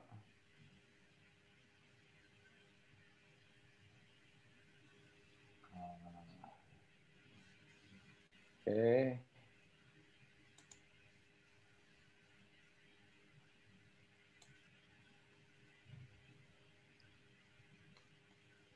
Oke, udah tampak, Mas. Sampun ya. Yang tadi Oke. kita gamis tadi belum Oh, belum. belum lihat fotonya tadi. Oh, udah fotonya. Nah, ini. Iya. Nah, ini. Oh, cewek. Nah, cewek. Iya. Jadi eh, di Facebooknya waktu dia narsis ya pakai emang dia orang orang quiet tapi ya quiet yang eh, Ya, sosial. ya, Nah, ya. itulah ya. Nah, itu. Tapi waktu dia sebagai kurir menyelundupkan Jawa itu, dia pakai gamis, Mas, gitu kan. Pakai gamis, pakai gamis besar itu kan ya. Mhm. Oh, kalau di apa kultur Indonesia kan rikuh tuh kalau harus menggeledah dan sebagainya kan. Ya, ya. Apalagi kalau kita lewat X-ray kan kalau selama nggak bunyi kan nggak digeledah. Ya. Jadi waktu menyelupkan owa Jawa ini ditaruh di, diikat di kakinya pakai gamis itu kan. Lewat dia. Tapi karena dia calling, owa Jawanya calling, berbunyi, ya ketahuan akhirnya gitu. Nah, ini yang tadi saya bukan ekspedisi ya, kurir ya. Dibilangin itu makanan, yang itu ada tulisan yang saya kelingkari itu, tapi ternyata isinya adalah eh, tengkorak eh, harimau Jawa. Gitu. Nah, ini yang tadi saya sebutkan, undang-undang yang ada gitu kan. Nah, kalau kita bicara tentang apa internasional itu ada dua eh, apa ya, dua dua dua hal yang bisa kita selama ini jadi jadi kiblatnya untuk bisa deal dengan isu eh, tingkat keterancaman spesies sama isu tentang perdagangan satwa. Itu ada CITES ya International Trade Convention sama IUCN itu terkait dengan status eh, atau tingkat keterancaman spesies terhadap kepunahan. Nah, ini lebih lebih sedikit lebih dalam lagi. Nah, ya, yang dimaksud CITES itu adalah singkatan ya, Convention on International Trade in Endangered Species. Mungkin sudah diajarkan juga oleh Mas Imron. Nah, jadi ya, itu ada websitenya, bisa diekspor di situ. Nah, itu eh, intinya gini, CITES itu adalah eh, konvensi ya yang di di apa ya diamini ataupun eh, anggotanya beranggotakan eh, lebih dari 180 negara yang mengatur tentang perdagangan satwa dan tumbuhan internasional. Gitu. Jadi CITES ini mengatur tentang semua jenis perdagangan nasional dan eh, semua jenis perdagangan internasional untuk tumbuhan dan satwa liar, apakah itu hidup atau bagian-bagiannya. Gitu. Ketika eh, dia masuk atau dibolehkan dalam perdagangan internasional, artinya apa? Mereka para eksportir itu mereka harus punya dokumen form CITES yang menjelaskan misalkan spesiesnya apa, volumenya berapa, ya, kemudian apa namanya eh, dia dari mana asalnya dan sebagainya. Nah, CITES ini, konvensi ini menetapkan level-level eh, apa ya, yang merujuk pada ancaman spesies itu, gitu kan. Makanya ada appendix 1, appendix 2, dan appendix 3, kan ya. Jadi kalau spesies masuk dalam kategori appendix 1 artinya apa? Artinya segala bentuk perdagangan internasional terhadap jenis itu tidak dibolehkan sama sekali. Jadi appendix 1 itu jenis satwa yang ataupun tumbuhan yang tidak dibolehkan diperdagangkan dalam skala internasional. Contohnya misalkan sula badak, harimau misalkan ya, atau orang hutan itu nggak boleh, appendix 1 nggak boleh. Kalau ada yang mengekspor orang hutan misalkan ya, ada suratnya dari CITES itu nggak mungkin. Karena, karena udah masuk dalam daftar jenis APEX 1. Jadi CITES itu setiap dua tahun mereka melakukan pertemuan, konvensi. Nah, hasil dari pertemuan itu adalah daftar jenis satwa dan tumbuhan liar yang digolongkan dalam Appendix 1, 2, 3. Appendix 1 artinya apa? Tidak boleh diperdagangkan internasional. Appendix 2 itu masih dibolehkan, tapi dengan pengaturan yang ketat. Appendix 3 juga sama, masih dibolehkan, tapi lebih longgar lagi. gitu. Nah, jadi setiap negara, setiap pengekspor satwa dan tumbuhan itu harus punya form uh, CITES untuk bisa menunjukkan bahwa satwa yang mereka ekspor itu atau mereka impor itu bukan appendix 1, melainkan appendix 2 atau appendix 3. Oke, kemudian nah ini contohnya. Di formnya nih. Jadi para pengekspor ataupun importir mereka harus mengisi form ini. Form ini harus selalu disertakan dalam proses pengiriman di setiap apa eh, step-stepnya. Nah, saya contoh misalnya terenggiling. Terenggiling ini udah masuk dalam appendix 1. Jadi segala bentuk jenis segala bentuk perdagangan dari terenggiling, apakah terenggiling hidup, sisiknya saja, ataupun dagingnya saja, itu nggak boleh sama sekali. Makanya eh, ketika ada perdagangan terenggiling di luar negeri, itu artinya ilegal. Nah, sama juga misalkan, eh, misalkan kura-kura, kura-kura banyak sekali jenisnya ya, ada yang buida, ada yang appendix 1, ada yang appendix 2. Kalau appendix 2 atau appendix 3, berarti boleh diperdagangkan. Nah, sekarang yang kedua yang yang dimaksud IUCN. Nah, IUCN itu eh, singkatan dari International Union for Conservation of Nature jadi ini adalah gambarnya itu adalah IUCN adalah sekumpulan para peneliti ya. Penelitian jumlahnya banyak sekali, ribuan. Kita pun bisa berperan sebagai peneliti. Nah, saya di sini juga masuk dalam tiga, eh, tiga Species Survival Commission. Jadi eh, IUCN itu menetapkan status daripada tingkat keterancaman spesies. Gitu kan. Jadi maksudnya dimaksud status adalah misalnya ini. Jadi uh, setiap spesies yang diakses itu punya statusnya dari mulai daripada data deficient sampai dengan extinct. Jadi mulai dari jadi kalau misalnya kita lihat ya yang di uh, kanan bawah itu the red list categories. Jadi uh, misalkan harimau Jawa, harimau Jawa kan sudah diyakini punah ya, maka dia kategorinya extinct, sudah punah di alam dan di captivity di penangkaran. Nah, tapi ada juga jenis yang apa namanya dikategorikan sebagai extinct in the wild. Jadi sudah punah di alam, tapi masih bisa ditemukan di penangkaran, di kebun binatang, dan di uh, captive breeding atau penangkar ya. Contohnya misalkan kura-kura leher panjang rote. Kura-kura leher panjang rote itu udah di tempatnya asalnya di Pulau Rote itu udah punah karena ada perburuan yang luar biasa besar-besaran. Tapi ada keberhasilan penangkaran di kebun binatang. Makanya sekarang tuh pemerintah Indonesia sedang berupaya untuk mengembalikan lagi uh, hasil penangkaran yang di kebun binatang itu dimasukkan lagi ke habitat aslinya. Nah, itu namanya extinct in the wild di alam sudah punah tapi di penangkaran masih ada. CR atau critically endangered itu jenis satwa yang akan punah dalam waktu dekat kalau tidak ada intervensi segera. Contohnya misalkan harimau Sumatera, badak Jawa, itu critically endangered. Makanya effort pemerintah harus tinggi untuk bisa memastikan tidak ada kepunahan di habitatnya gitu. Dan seterusnya sampai dengan ada endanger, ada vulnerable, ada near threatened, ada least concern sampai dengan data deficient. Nah, yang jadi concern kita adalah data deficient. Ada banyak sekali jenis satwa yang belum belum belum banyak penelitian tentang populasinya, tentang ancamannya, tentang karakter daripada spesies itu, satwa dan tumbuhan ya. Jadi masuk dalam kategori data deficient. Nah, data deficient sebenarnya berbahaya. Karena apa? Karena kita nggak tahu apakah sebenarnya sebenarnya situasi di lapangan itu seperti apa sih? Apakah sudah habis atau sudah sedikit, tapi tidak ketahuan. Nah, jadi inilah peran daripada kita untuk bisa masuk di dalamnya. Itu. Nah, di IUCN sendiri itu ada yang namanya uh, Species Survival Commission. Uh, Species Survival Commission. Jadi komisi-komisi yang dibentuk untuk bisa memberikan input kepada IUCN sehingga mereka bisa menetapkan status daripada satwa itu. Jadi apakah statusnya itu sudah harus masuk harus naik ke level yang terancam punah atau justru tahu-tahu udah punah gitu kan. Saya ambil contoh misalkan apa namanya uh, trulek Jawa. Itu uh, fenomenal tuh jenis ini. Trulek Jawa itu tahu-tahu sudah nggak ada aja gitu kan. Jadi eh, belum ada riset, belum ada hal yang memastikan populasinya terancam enggak, tahu-tahu udah hilang. Survei terakhir itu belum menemukan sama sekali, bahkan udah dianggap punah gitu kan. Jadi itulah fungsinya. Banyak spesies yang kalau saya bilang itu terabaikan atau bukan mem tidak memiliki peran penting atau belum memiliki peran penting sampai sekarang ini, tahu-tahu sudah hilang saja kita nggak tahu faktornya apa ya, apakah itu penyakit, apakah fragmentasi habitat, apakah perburuan ya, tahu udah hilang tanpa ada apa, uh, apa ya uh, penelitian sebelumnya. Makanya kita patut untuk bisa concern pada jenis-jenis satwa yang kategori di kategori di IUCN itu masih dalam kategori data defisien. Terkait dengan apa uh, penelitian ini, memang uh, Indonesia kan ada yang namanya Scientific Authority ya, uh, LIPI, Lembaga Indonesia Ilmu Pengetahuan Indonesia. Nah, LIPI itu yang satu yang agensi penting, institusi penting yang bisa merekomendasikan juga status daripada satwa, gitu kan. Atau juga para peneliti. Jadi para peneliti ya, bahkan mahasiswa sekalipun yang punya reputasi dan diakui ya, itu bisa mengusulkan dari penelitian dilakukan itu bisa mengusulkan misalnya oh jenis ini ini harus dinaikkan dinaikkan statusnya karena saya menemukan di lapangan ini ini ini bisa. Maka saya menyarankan ketika anda punya ekspertis terhadap suatu jenis uh, satwa ya ataupun jenis isu tertentu anda bisa masuk dalam uh, spesies uh, survival commission.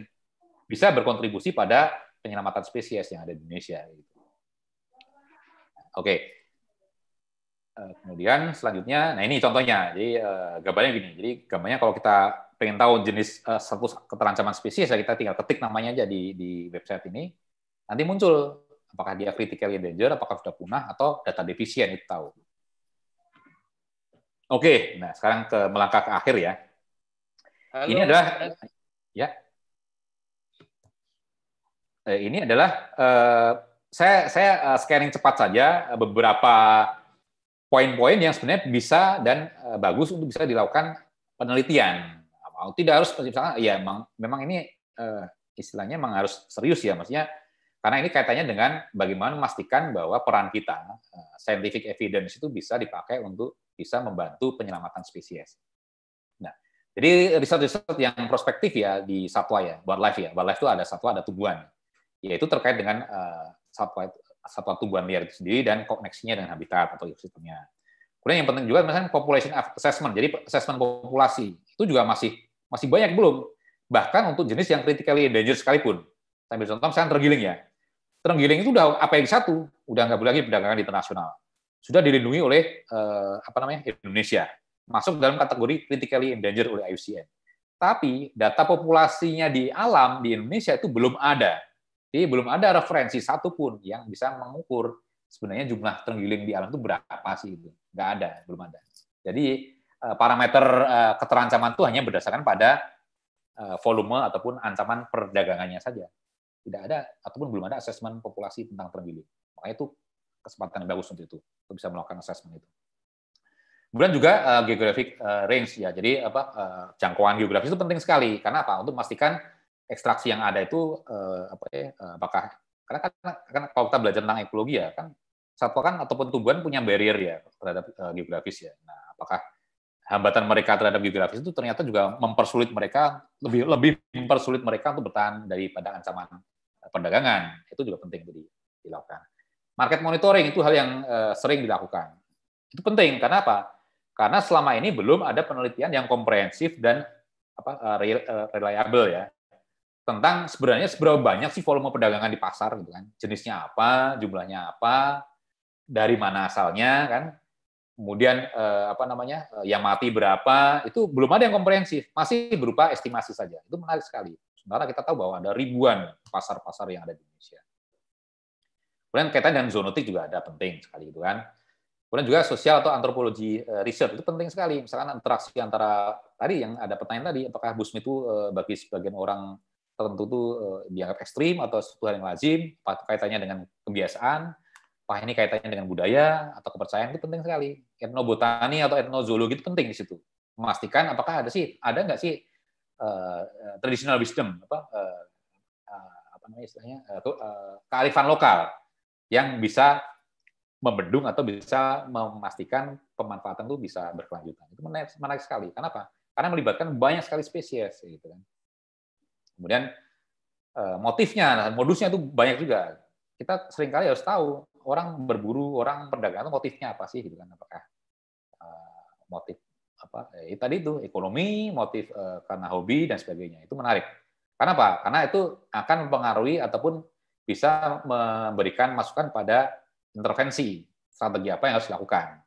Saya ambil contoh misalnya gini ya, misalkan ternyata motif perburuan spesies A itu adalah misalkan untuk eh, bushmeat misalnya ya, ataupun untuk eh, protein ya kita harus mengalihkan untuk jenis yang lain. Kemudian eh, yang ini eh, non detrimental findings itu adalah apa namanya eh, jadi penelitian untuk memastikan apakah ekstraksi ataupun pemanfaatan jumlah pemanfaatan yang terjadi terhadap spesies itu itu tidak sampai melebihi daripada eh, kemampuan spesies itu untuk melakukan recovery ataupun tidak mengganggu daripada eh, populasi dari spesies itu. Itu penting sekali non detrimental finding karena NDF ini dipakai untuk bisa menetapkan kuota atau jatah. Jadi kalau kita kembali ke CITES ya. Jadi untuk memastikan bahwa spesies itu masih aman di habitatnya, misalkan saya eksportir, saya misalkan eksportir tokek ya, ketika saya mengajukan izin untuk mengekspor tokek, maka saya akan diberikan jatah oleh pemerintah. Kamu boleh mengekspor sebanyak 5.000 ekor saja, nggak boleh ada lebih itu. Nah, nilai 5.000, jumlah 5.000 itu didasarkan pada assessment ataupun ukuran pengukuran riset di lapangan. Itu yang dinamakan NDF. Jadi sampai sejauh mana volume yang uh, dibolehkan untuk perdagangan itu tidak mengganggu ataupun tidak membuat uh, stabilitas uh, populasi di alam itu terganggu. Oke, kemudian juga tadi yang saya sarankan, uh, kontribusi apa sih sebenarnya uh, yang bisa kita lakukan banyak. Secara individu bisa, secara apa ya, secara komunal ya, secara komunitas bisa, bahkan secara universitas juga bisa untuk menjadi bagian daripada masyarakat yang ada di dunia, apa riset-riset atau penelitian yang ada di dunia untuk bisa berkontribusi pada apa namanya penyelamatan spesies yang ada itu. Oke, saya pikir demikian sudah habis ya.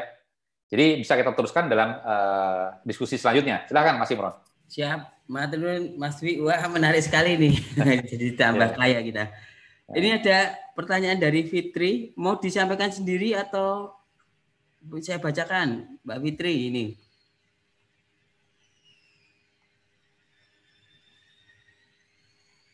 biar interaktif. Saya tawarkan kalau mau disampaikan sendiri. Kalau enggak ya saya bacakan juga enggak apa-apa. Uh, jadi pertanyaannya terkait ini ini Mas Dwi kan ini kan sebenarnya penanganan masalah uh, perburuan itu kan tidak hanya apa satu pihak saja ya termasuk di dalamnya ada uh, penyadaran hukum terkait dengan eh, apa perburuan yang apa ilegal ini. Tapi kok kadang sebenarnya informasi tentang hukum ini sudah menurut Mbak Fitri sudah banyak, kita mudah mendapatkannya, tapi kok masih sering kali eh, ada yang mengulang berburu sudah tertangkap terus kemudian melakukan lagi itu apakah ada strategi-strategi khusus yang terkait dengan penanganan apa kasus-kasus semacam ini? Ya, Ya, makasih Mas. Jadi sebenarnya kalau kita telaah ya, eh, kalau eh, saya kan belajar kriminologi ya, jadi ada sedikit banyak tentang itu. Nah, eh, ada yang kita namakan dengan deterrent effect ya, jadi efek jerah. Jadi orang itu melakukan kejahatan kan pasti dia akan menimbang dulu kan cost dan benefitnya.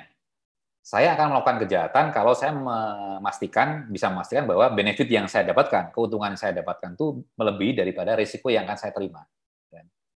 Jadi saya Itulah yang terjadi, termasuk di satwa ini. Jadi itulah kenapa kemudian banyak residivis. Residivis, residivis itu adalah orang yang ditangkap karena melakukan kejahatan, masuk penjara, keluar penjara, kambuhan. Kalau kita di kalian dalam bahasa itu penjahat kambuhan. Ketika ada penjahat kambuhan, artinya apa? Efek jerah tidak muncul. Kenapa efek jerah tidak muncul? Ya karena pelaku masih menganggap bahwa keuntungan yang saya peroleh daripada berjualan satwa itu masih lebih menguntungkan ketimbang saya harus mendekam di penjara. Nah, jadi hukum yang harus ditegakkan harus bisa membalik itu, memastikan bahwa pelaku itu sadar bahwa ketika saya melakukan kejahatan, maka resiko yang saya terima itu lebih besar. Saya rugi nih kalau melakukan kejahatan.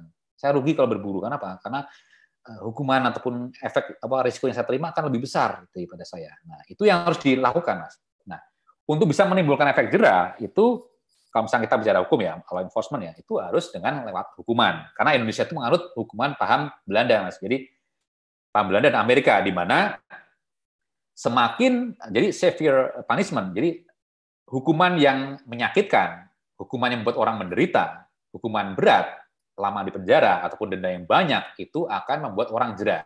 Gitu. Beda dengan misalkan uh, uh, uh, sorry ini bukan di Belanda, bukan Belanda, ini kita mengalut ke Amerika. Kalau yang Belanda ataupun Norwegia misalkan itu mereka kebalikannya. Justru apa namanya? Ketika negara memberikan hukuman yang berat, maka orang akan kehilangan para pelaku ya, dia akan kehilangan uh, attachment apa interaksi dengan lingkungan sekitar. Dia akan kehilangan hubungan dengan sosialnya, akan dicemooh oleh warganya, kehilangan pekerjaan. Jadi ketika dia keluar dari penjara dalam waktu yang lama, dia akan merasa hampa ya, sepi, dan akhirnya dia akan melakukan kejahatan lagi. Jadi dua dua dua dua prinsip itu yang ada di dunia, prinsip deteren. Gitu. Nah Indonesia itu Indonesia itu menganut prinsip efek jerah dengan hukuman yang lama. Jadi kalau kita bilang ada penjahat yang masih melakukan kejahatan lagi, artinya apa? Ya deterennya kurang, eh, hukuman penjaranya masih kurang. Nah, kalau kita berkaca pada satwa ya, memang ada beberapa jenis satwa yang fonisnya hukuman penjara dan eh, apa namanya dendanya itu tinggi. Misalkan eh, pemburu harimau ataupun pedagang harimau itu rata-rata di atas dua tahun lah ya. Jadi banyak di antara mereka memang jerah. Tapi tadi itu kembali lagi mas ya, ketika dihukum berat sekalipun, tapi pelaku masih memandang bahwa keuntungan yang saat terima itu masih menguntungkan dibandingkan lama saya di penjara, dia akan melakukan kejahatan lagi. Itulah kenapa harusnya itu penegakan hukum juga diimbangi dengan perubahan-perubahan eh, faktor-faktor yang membuat pelaku itu mau melakukan kejahatan lagi. Misalkan eh, kalau kita bicara tentang pemburu ya, ya kita bicara tentang misalkan ada nggak sih sebenarnya? Nah kita harus bicara motifnya ya. Gitu. Jadi biasanya yang penjahat kambuhan itu motifnya adalah motif bisnis komersial. Tapi yang biasanya yang sering jera itu adalah biasanya motifnya bukan motif bisnis. Motifnya misalkan ingin menambah penghasilan gitu kan ya. Jadi eh, punya punya pekerjaan utama tapi ada usaha sampingan tapi dia ilegal ketangkep ketika di penjara selesai ya jerah dia gitu kan. Wah saya sudah nih kapok nih karena saya maunya sampingan saja ternyata kena. Itu yang sering terjadi. Motif. Jadi hmm. makanya kita harus melihat, melihat motifnya. Nah kalau sudah tahu motif kejahatannya intervensinya lebih enak nih apakah pelaku mau dihukum berat atau pelaku bisa dialihkan misalkan oh kamu harus cari alternatif pendapatan lain nih jangan sampai berburu lagi gitu nah, itu penting untuk intervensinya itu yang harus dilakukan mas gitu menarik Mas uh, deterrent effect ya. Jadi di mana kalau apa kalau dari hasil kriminal itu ditabung masih aman untuk nanti kalau lolos ya tetap masih percaya dengan itu bisa mendatangkan keuntungan ya. Iya benar. Jadi ya ya contohnya begini. Ada eh, jadi kalau dalam eh, saya pernah menjelaskan ya di, di, di event yang lain. Jadi Indonesia itu ada di Indonesia itu ada dua kelompok ya. Kelompok yang kelompok penjahat yang mereka terikat oleh etnis ya atau keluarga kelompok penjahat dan satu lagi kelompok penjahat yang tidak terikat etnis ataupun keluarga. Nah, untuk untuk kejahatan yang terikat etnis atau keluarga itu lebih susah kalau pendekatannya tidak di, tidak diberantas uh, aktor pentingnya. Hmm. Misalnya gini, misalkan uh, saya mengempalai saya keluarga ya keluarga Nugroho misalnya. saya anak saya paman saya berbisnis uh, hal ilegal. Saya sebagai pimpinannya itu. Ya Nah, kalau yang ditangkap itu uh, bukan saya, saya masih bisa menggerakkan gitu kan. Ya. Tapi kalau yang ditangkap itu saya, maka otomatis karena saya pimpinannya itu akan bubar karena tidak ada leadernya seperti itu. Itu satu, satu kasus ya. Atau misalkan yang sekarang terjadi dan banyak terjadi juga itu perdagangan online masnya. Kita tahu bahwa ketika kita membuka account ya, itu bisa lebih dari satu, sepuluh pun bisa dengan account yang sama.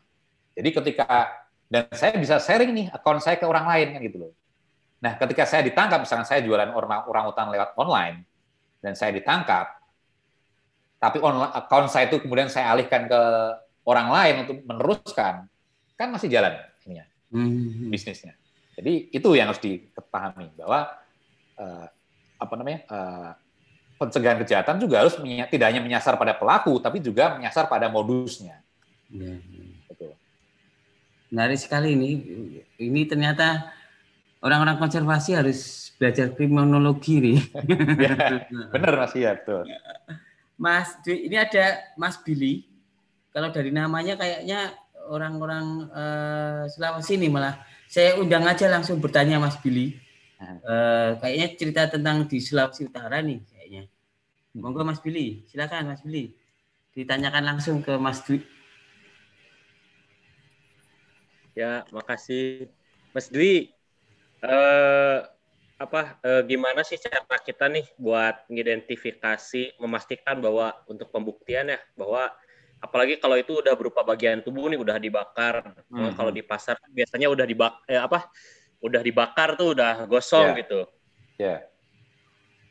Oh menarik nih, saya sebentar saya saya sharing eh, presentasi saya waktu di waktu di Itu masih kelihatan beda kalau belum dibakar, tapi kalau udah udah hangus kan gosong dibakar nggak kelihatan lagi bedanya. Toh anoa Ya, ya, sama ya. sapi artinya udah beda. Yak, eh, yaki juga kan monyet, makaka ada beberapa yang dilindungi, ada enggak. Tapi gimana sih cara kita bisa membedakan itu gitu, Mas Dwi? Oke oke oke saya saya kasih sedikit apa namanya eh, nah ini apa namanya eh, sharing mana sharingnya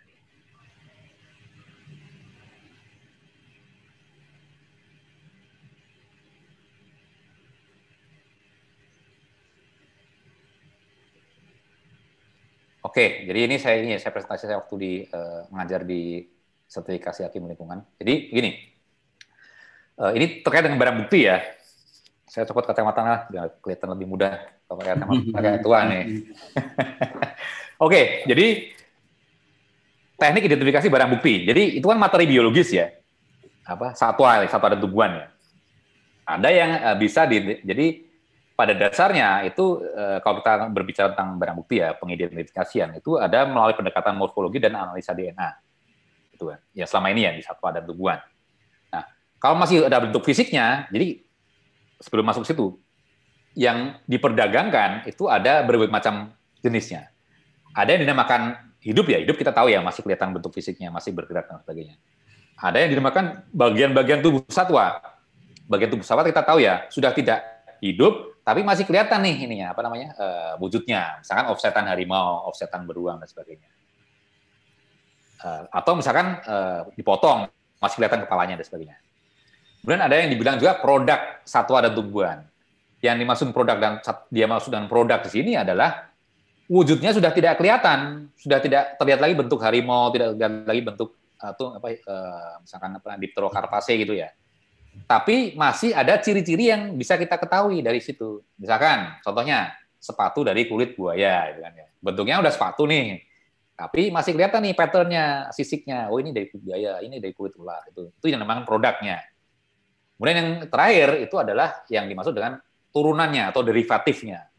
Yang tadi yang saya cantumkan di foto tadi tentang obat, obat yang sudah dalam kapsul tadi ya. Kapsul udah digerus nih, udah nggak kelihatan bentuknya udah nggak jelas sudah dalam bentuk serbuk bagaimana membuktikan ini? Ya gitu. Nah. Oke nah sekarang masuk ke selanjutnya. Kalau seperti ini kan kelihatan nih ini elang jawa ya secara fisik kelihatan morfologi bisa gitu kan. Ini juga eh, bagi para taksonomis eh, mereka juga tahu ini adalah eh, taring harimau kan gitu. Nah cuman harimau juga kita harus paham bahwa eh, untuk bisa membedakan harimau dengan macan daan misalnya bisa lewat morfologi ya. Tapi ini taring harimau Benggala atau taring harimau Sumatera ya gitu. Itu nggak bisa pakai morfologi, harus pakai DNA. Jadi itu. Jadi ada yang harus memakai DNA.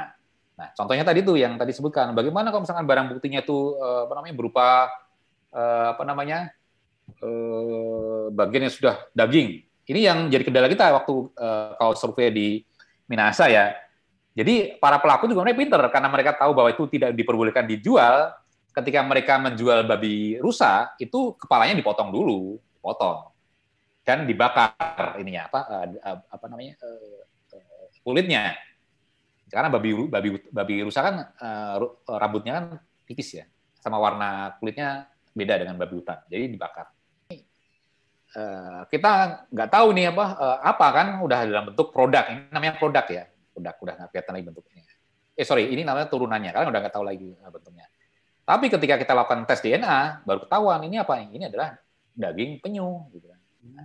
Cuman ya itu tadi tes DNA itu baru bisa dilakukan kalau eh, lab itu punya referensinya kan, pembandingnya itu. Jadi, jadi lab itu harus punya nih apa, eh, DNA untuk misalnya sisik, penyu hijau, harimau Sumatera dan sebagainya. Jadi ketika ada barang bukti, apakah itu dalam bentuk gosong dan sebagainya itu bisa dibandingkan. Memang ada beberapa uh, sampel yang susah dicari DNA-nya karena pertama misalnya sambil sambil, sambil contoh misalkan uh, kulit harimau yang direndam oleh formalin.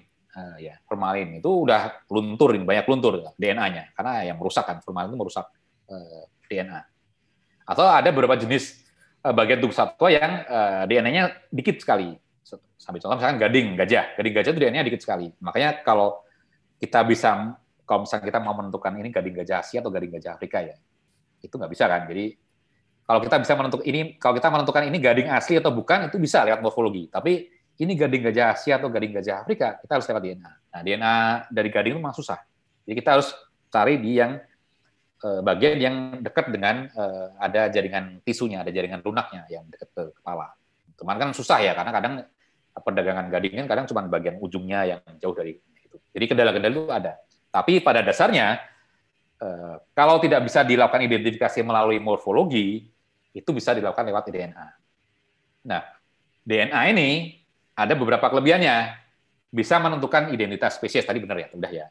Atau subspesiesnya bisa, populasinya bisa, hubungan kegerapatan kegerapatan bisa juga. Contohnya begini, misalkan saya ditangkap polisi, ada memelihara ada memelihara ini apa namanya eh, katua jabul kuning. Saya bilang, oh ini dari ini kok penangkaran kok pak. Gitu. Nah, polisi bisa meminta buktinya. Eh, bener nggak eh, yang apa kakatua itu dari penangkaran dengan melihat hubungan kekerabatan. Jadi akan dites DNA tuh. Kalau misalnya ada idukannya, idukannya idukan A, B dites nih sama yang saya pelihara. Kalau matching artinya benar itu hasil daripada akan menentukan individu. Misalnya gini, ada pelaku eh, harimau yang eh, perdagangan bagian harimau yang ditangkap. Ada ketemu kulit, ketemu tengkorak gitu kan. Kan bisa jadi kulit dan tengkorak itu berasal daripada individu yang sama atau kulit dan tengkorak berasal daripada individu yang berbeda, ya kan? Nah, untuk bisa memastikan ini benar ini dari individu yang sama atau berbeda, pakai DNA, gitu. Ya bisa pakai morfologi. Gitu. Nah, kayak gitu. Nah, sekarang kalau di Indonesia itu udah uh, udah lebih dari punya udah uh, macam-macam, udah, udah udah direbus, udah digoreng, udah dikeringkan, udah jadi arang itu ada.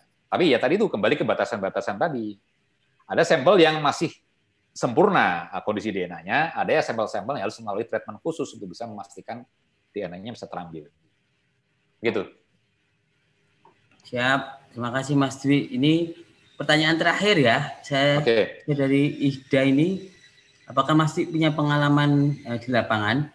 Uh, apakah pengetahuan masyarakat tentang satwa dan tanaman yang dilindungi ini jadi masyarakat itu lebih sadar dan mau menjaga keberadaannya atau malah karena tahu itu dilindungi, tahu nilai ekonomisnya, karena ya kalau dilindungi terus sebagai bargaining position untuk untuk menawar ini barang susah didapatkan ini jadi malah malah ya. semakin memburunya. Moga Mas Dwi. Ya, makasih Mas. Jadi sebenarnya itu adalah dua mata pisau ya jadi. Jadi dua mata pisau, tapi yang kita lihat ya, jadi kan saya eh, main di isu ini kan sejak tahun 1999. Mungkin Mas belum ada yang lahir itu ya. nah, jadi uh, dulu memang uh, awareness ya, apa public awareness, apa pedulian atau kesadaran masyarakat tentang wildlife itu masih kurang sekali. Bahkan banyak provinsi di mana belum ada kasus-kasus satwa yang diangkat. Tapi sejak tahun 2015 ya itu naik ya, seiring dengan isu wildlife trafficking di internasional kan semakin naik ya. Jadi pemerintah juga semakin concern dengan hal ini.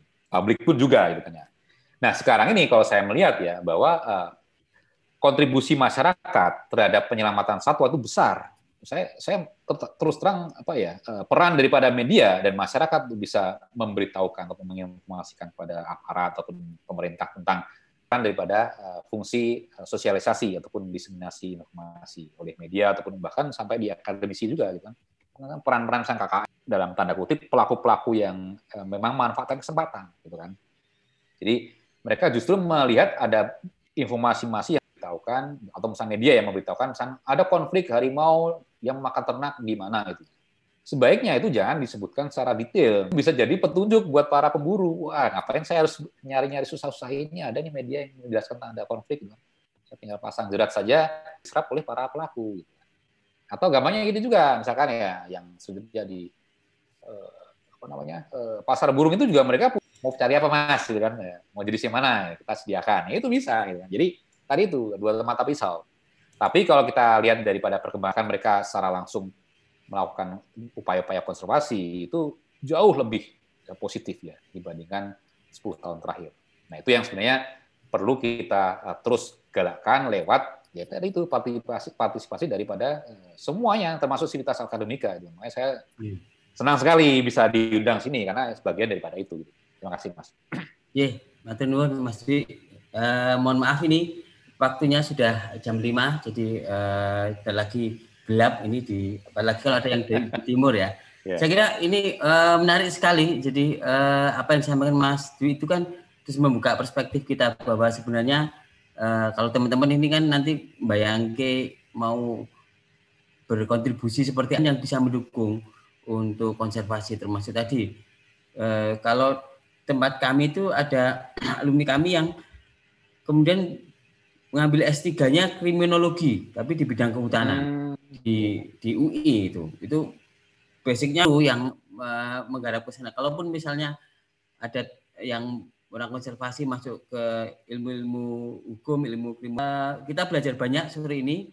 Tapi saya ingin menyampaikan dulu, Mas. Eh, hmm. Ini saya tadi posting ke Facebook itu uh, untuk apa uh, postingan uh, untuk link YouTube-nya ternyata yang nge-like itu ada Mbak ini Mbak Fitri di peternakan sama Oh iya iya iya itu itu teman SMA saya dulu itu Mbak Fitri. Ya, Mas ya, terima kasih ya, sekali atas Terima kasih Mas Imran.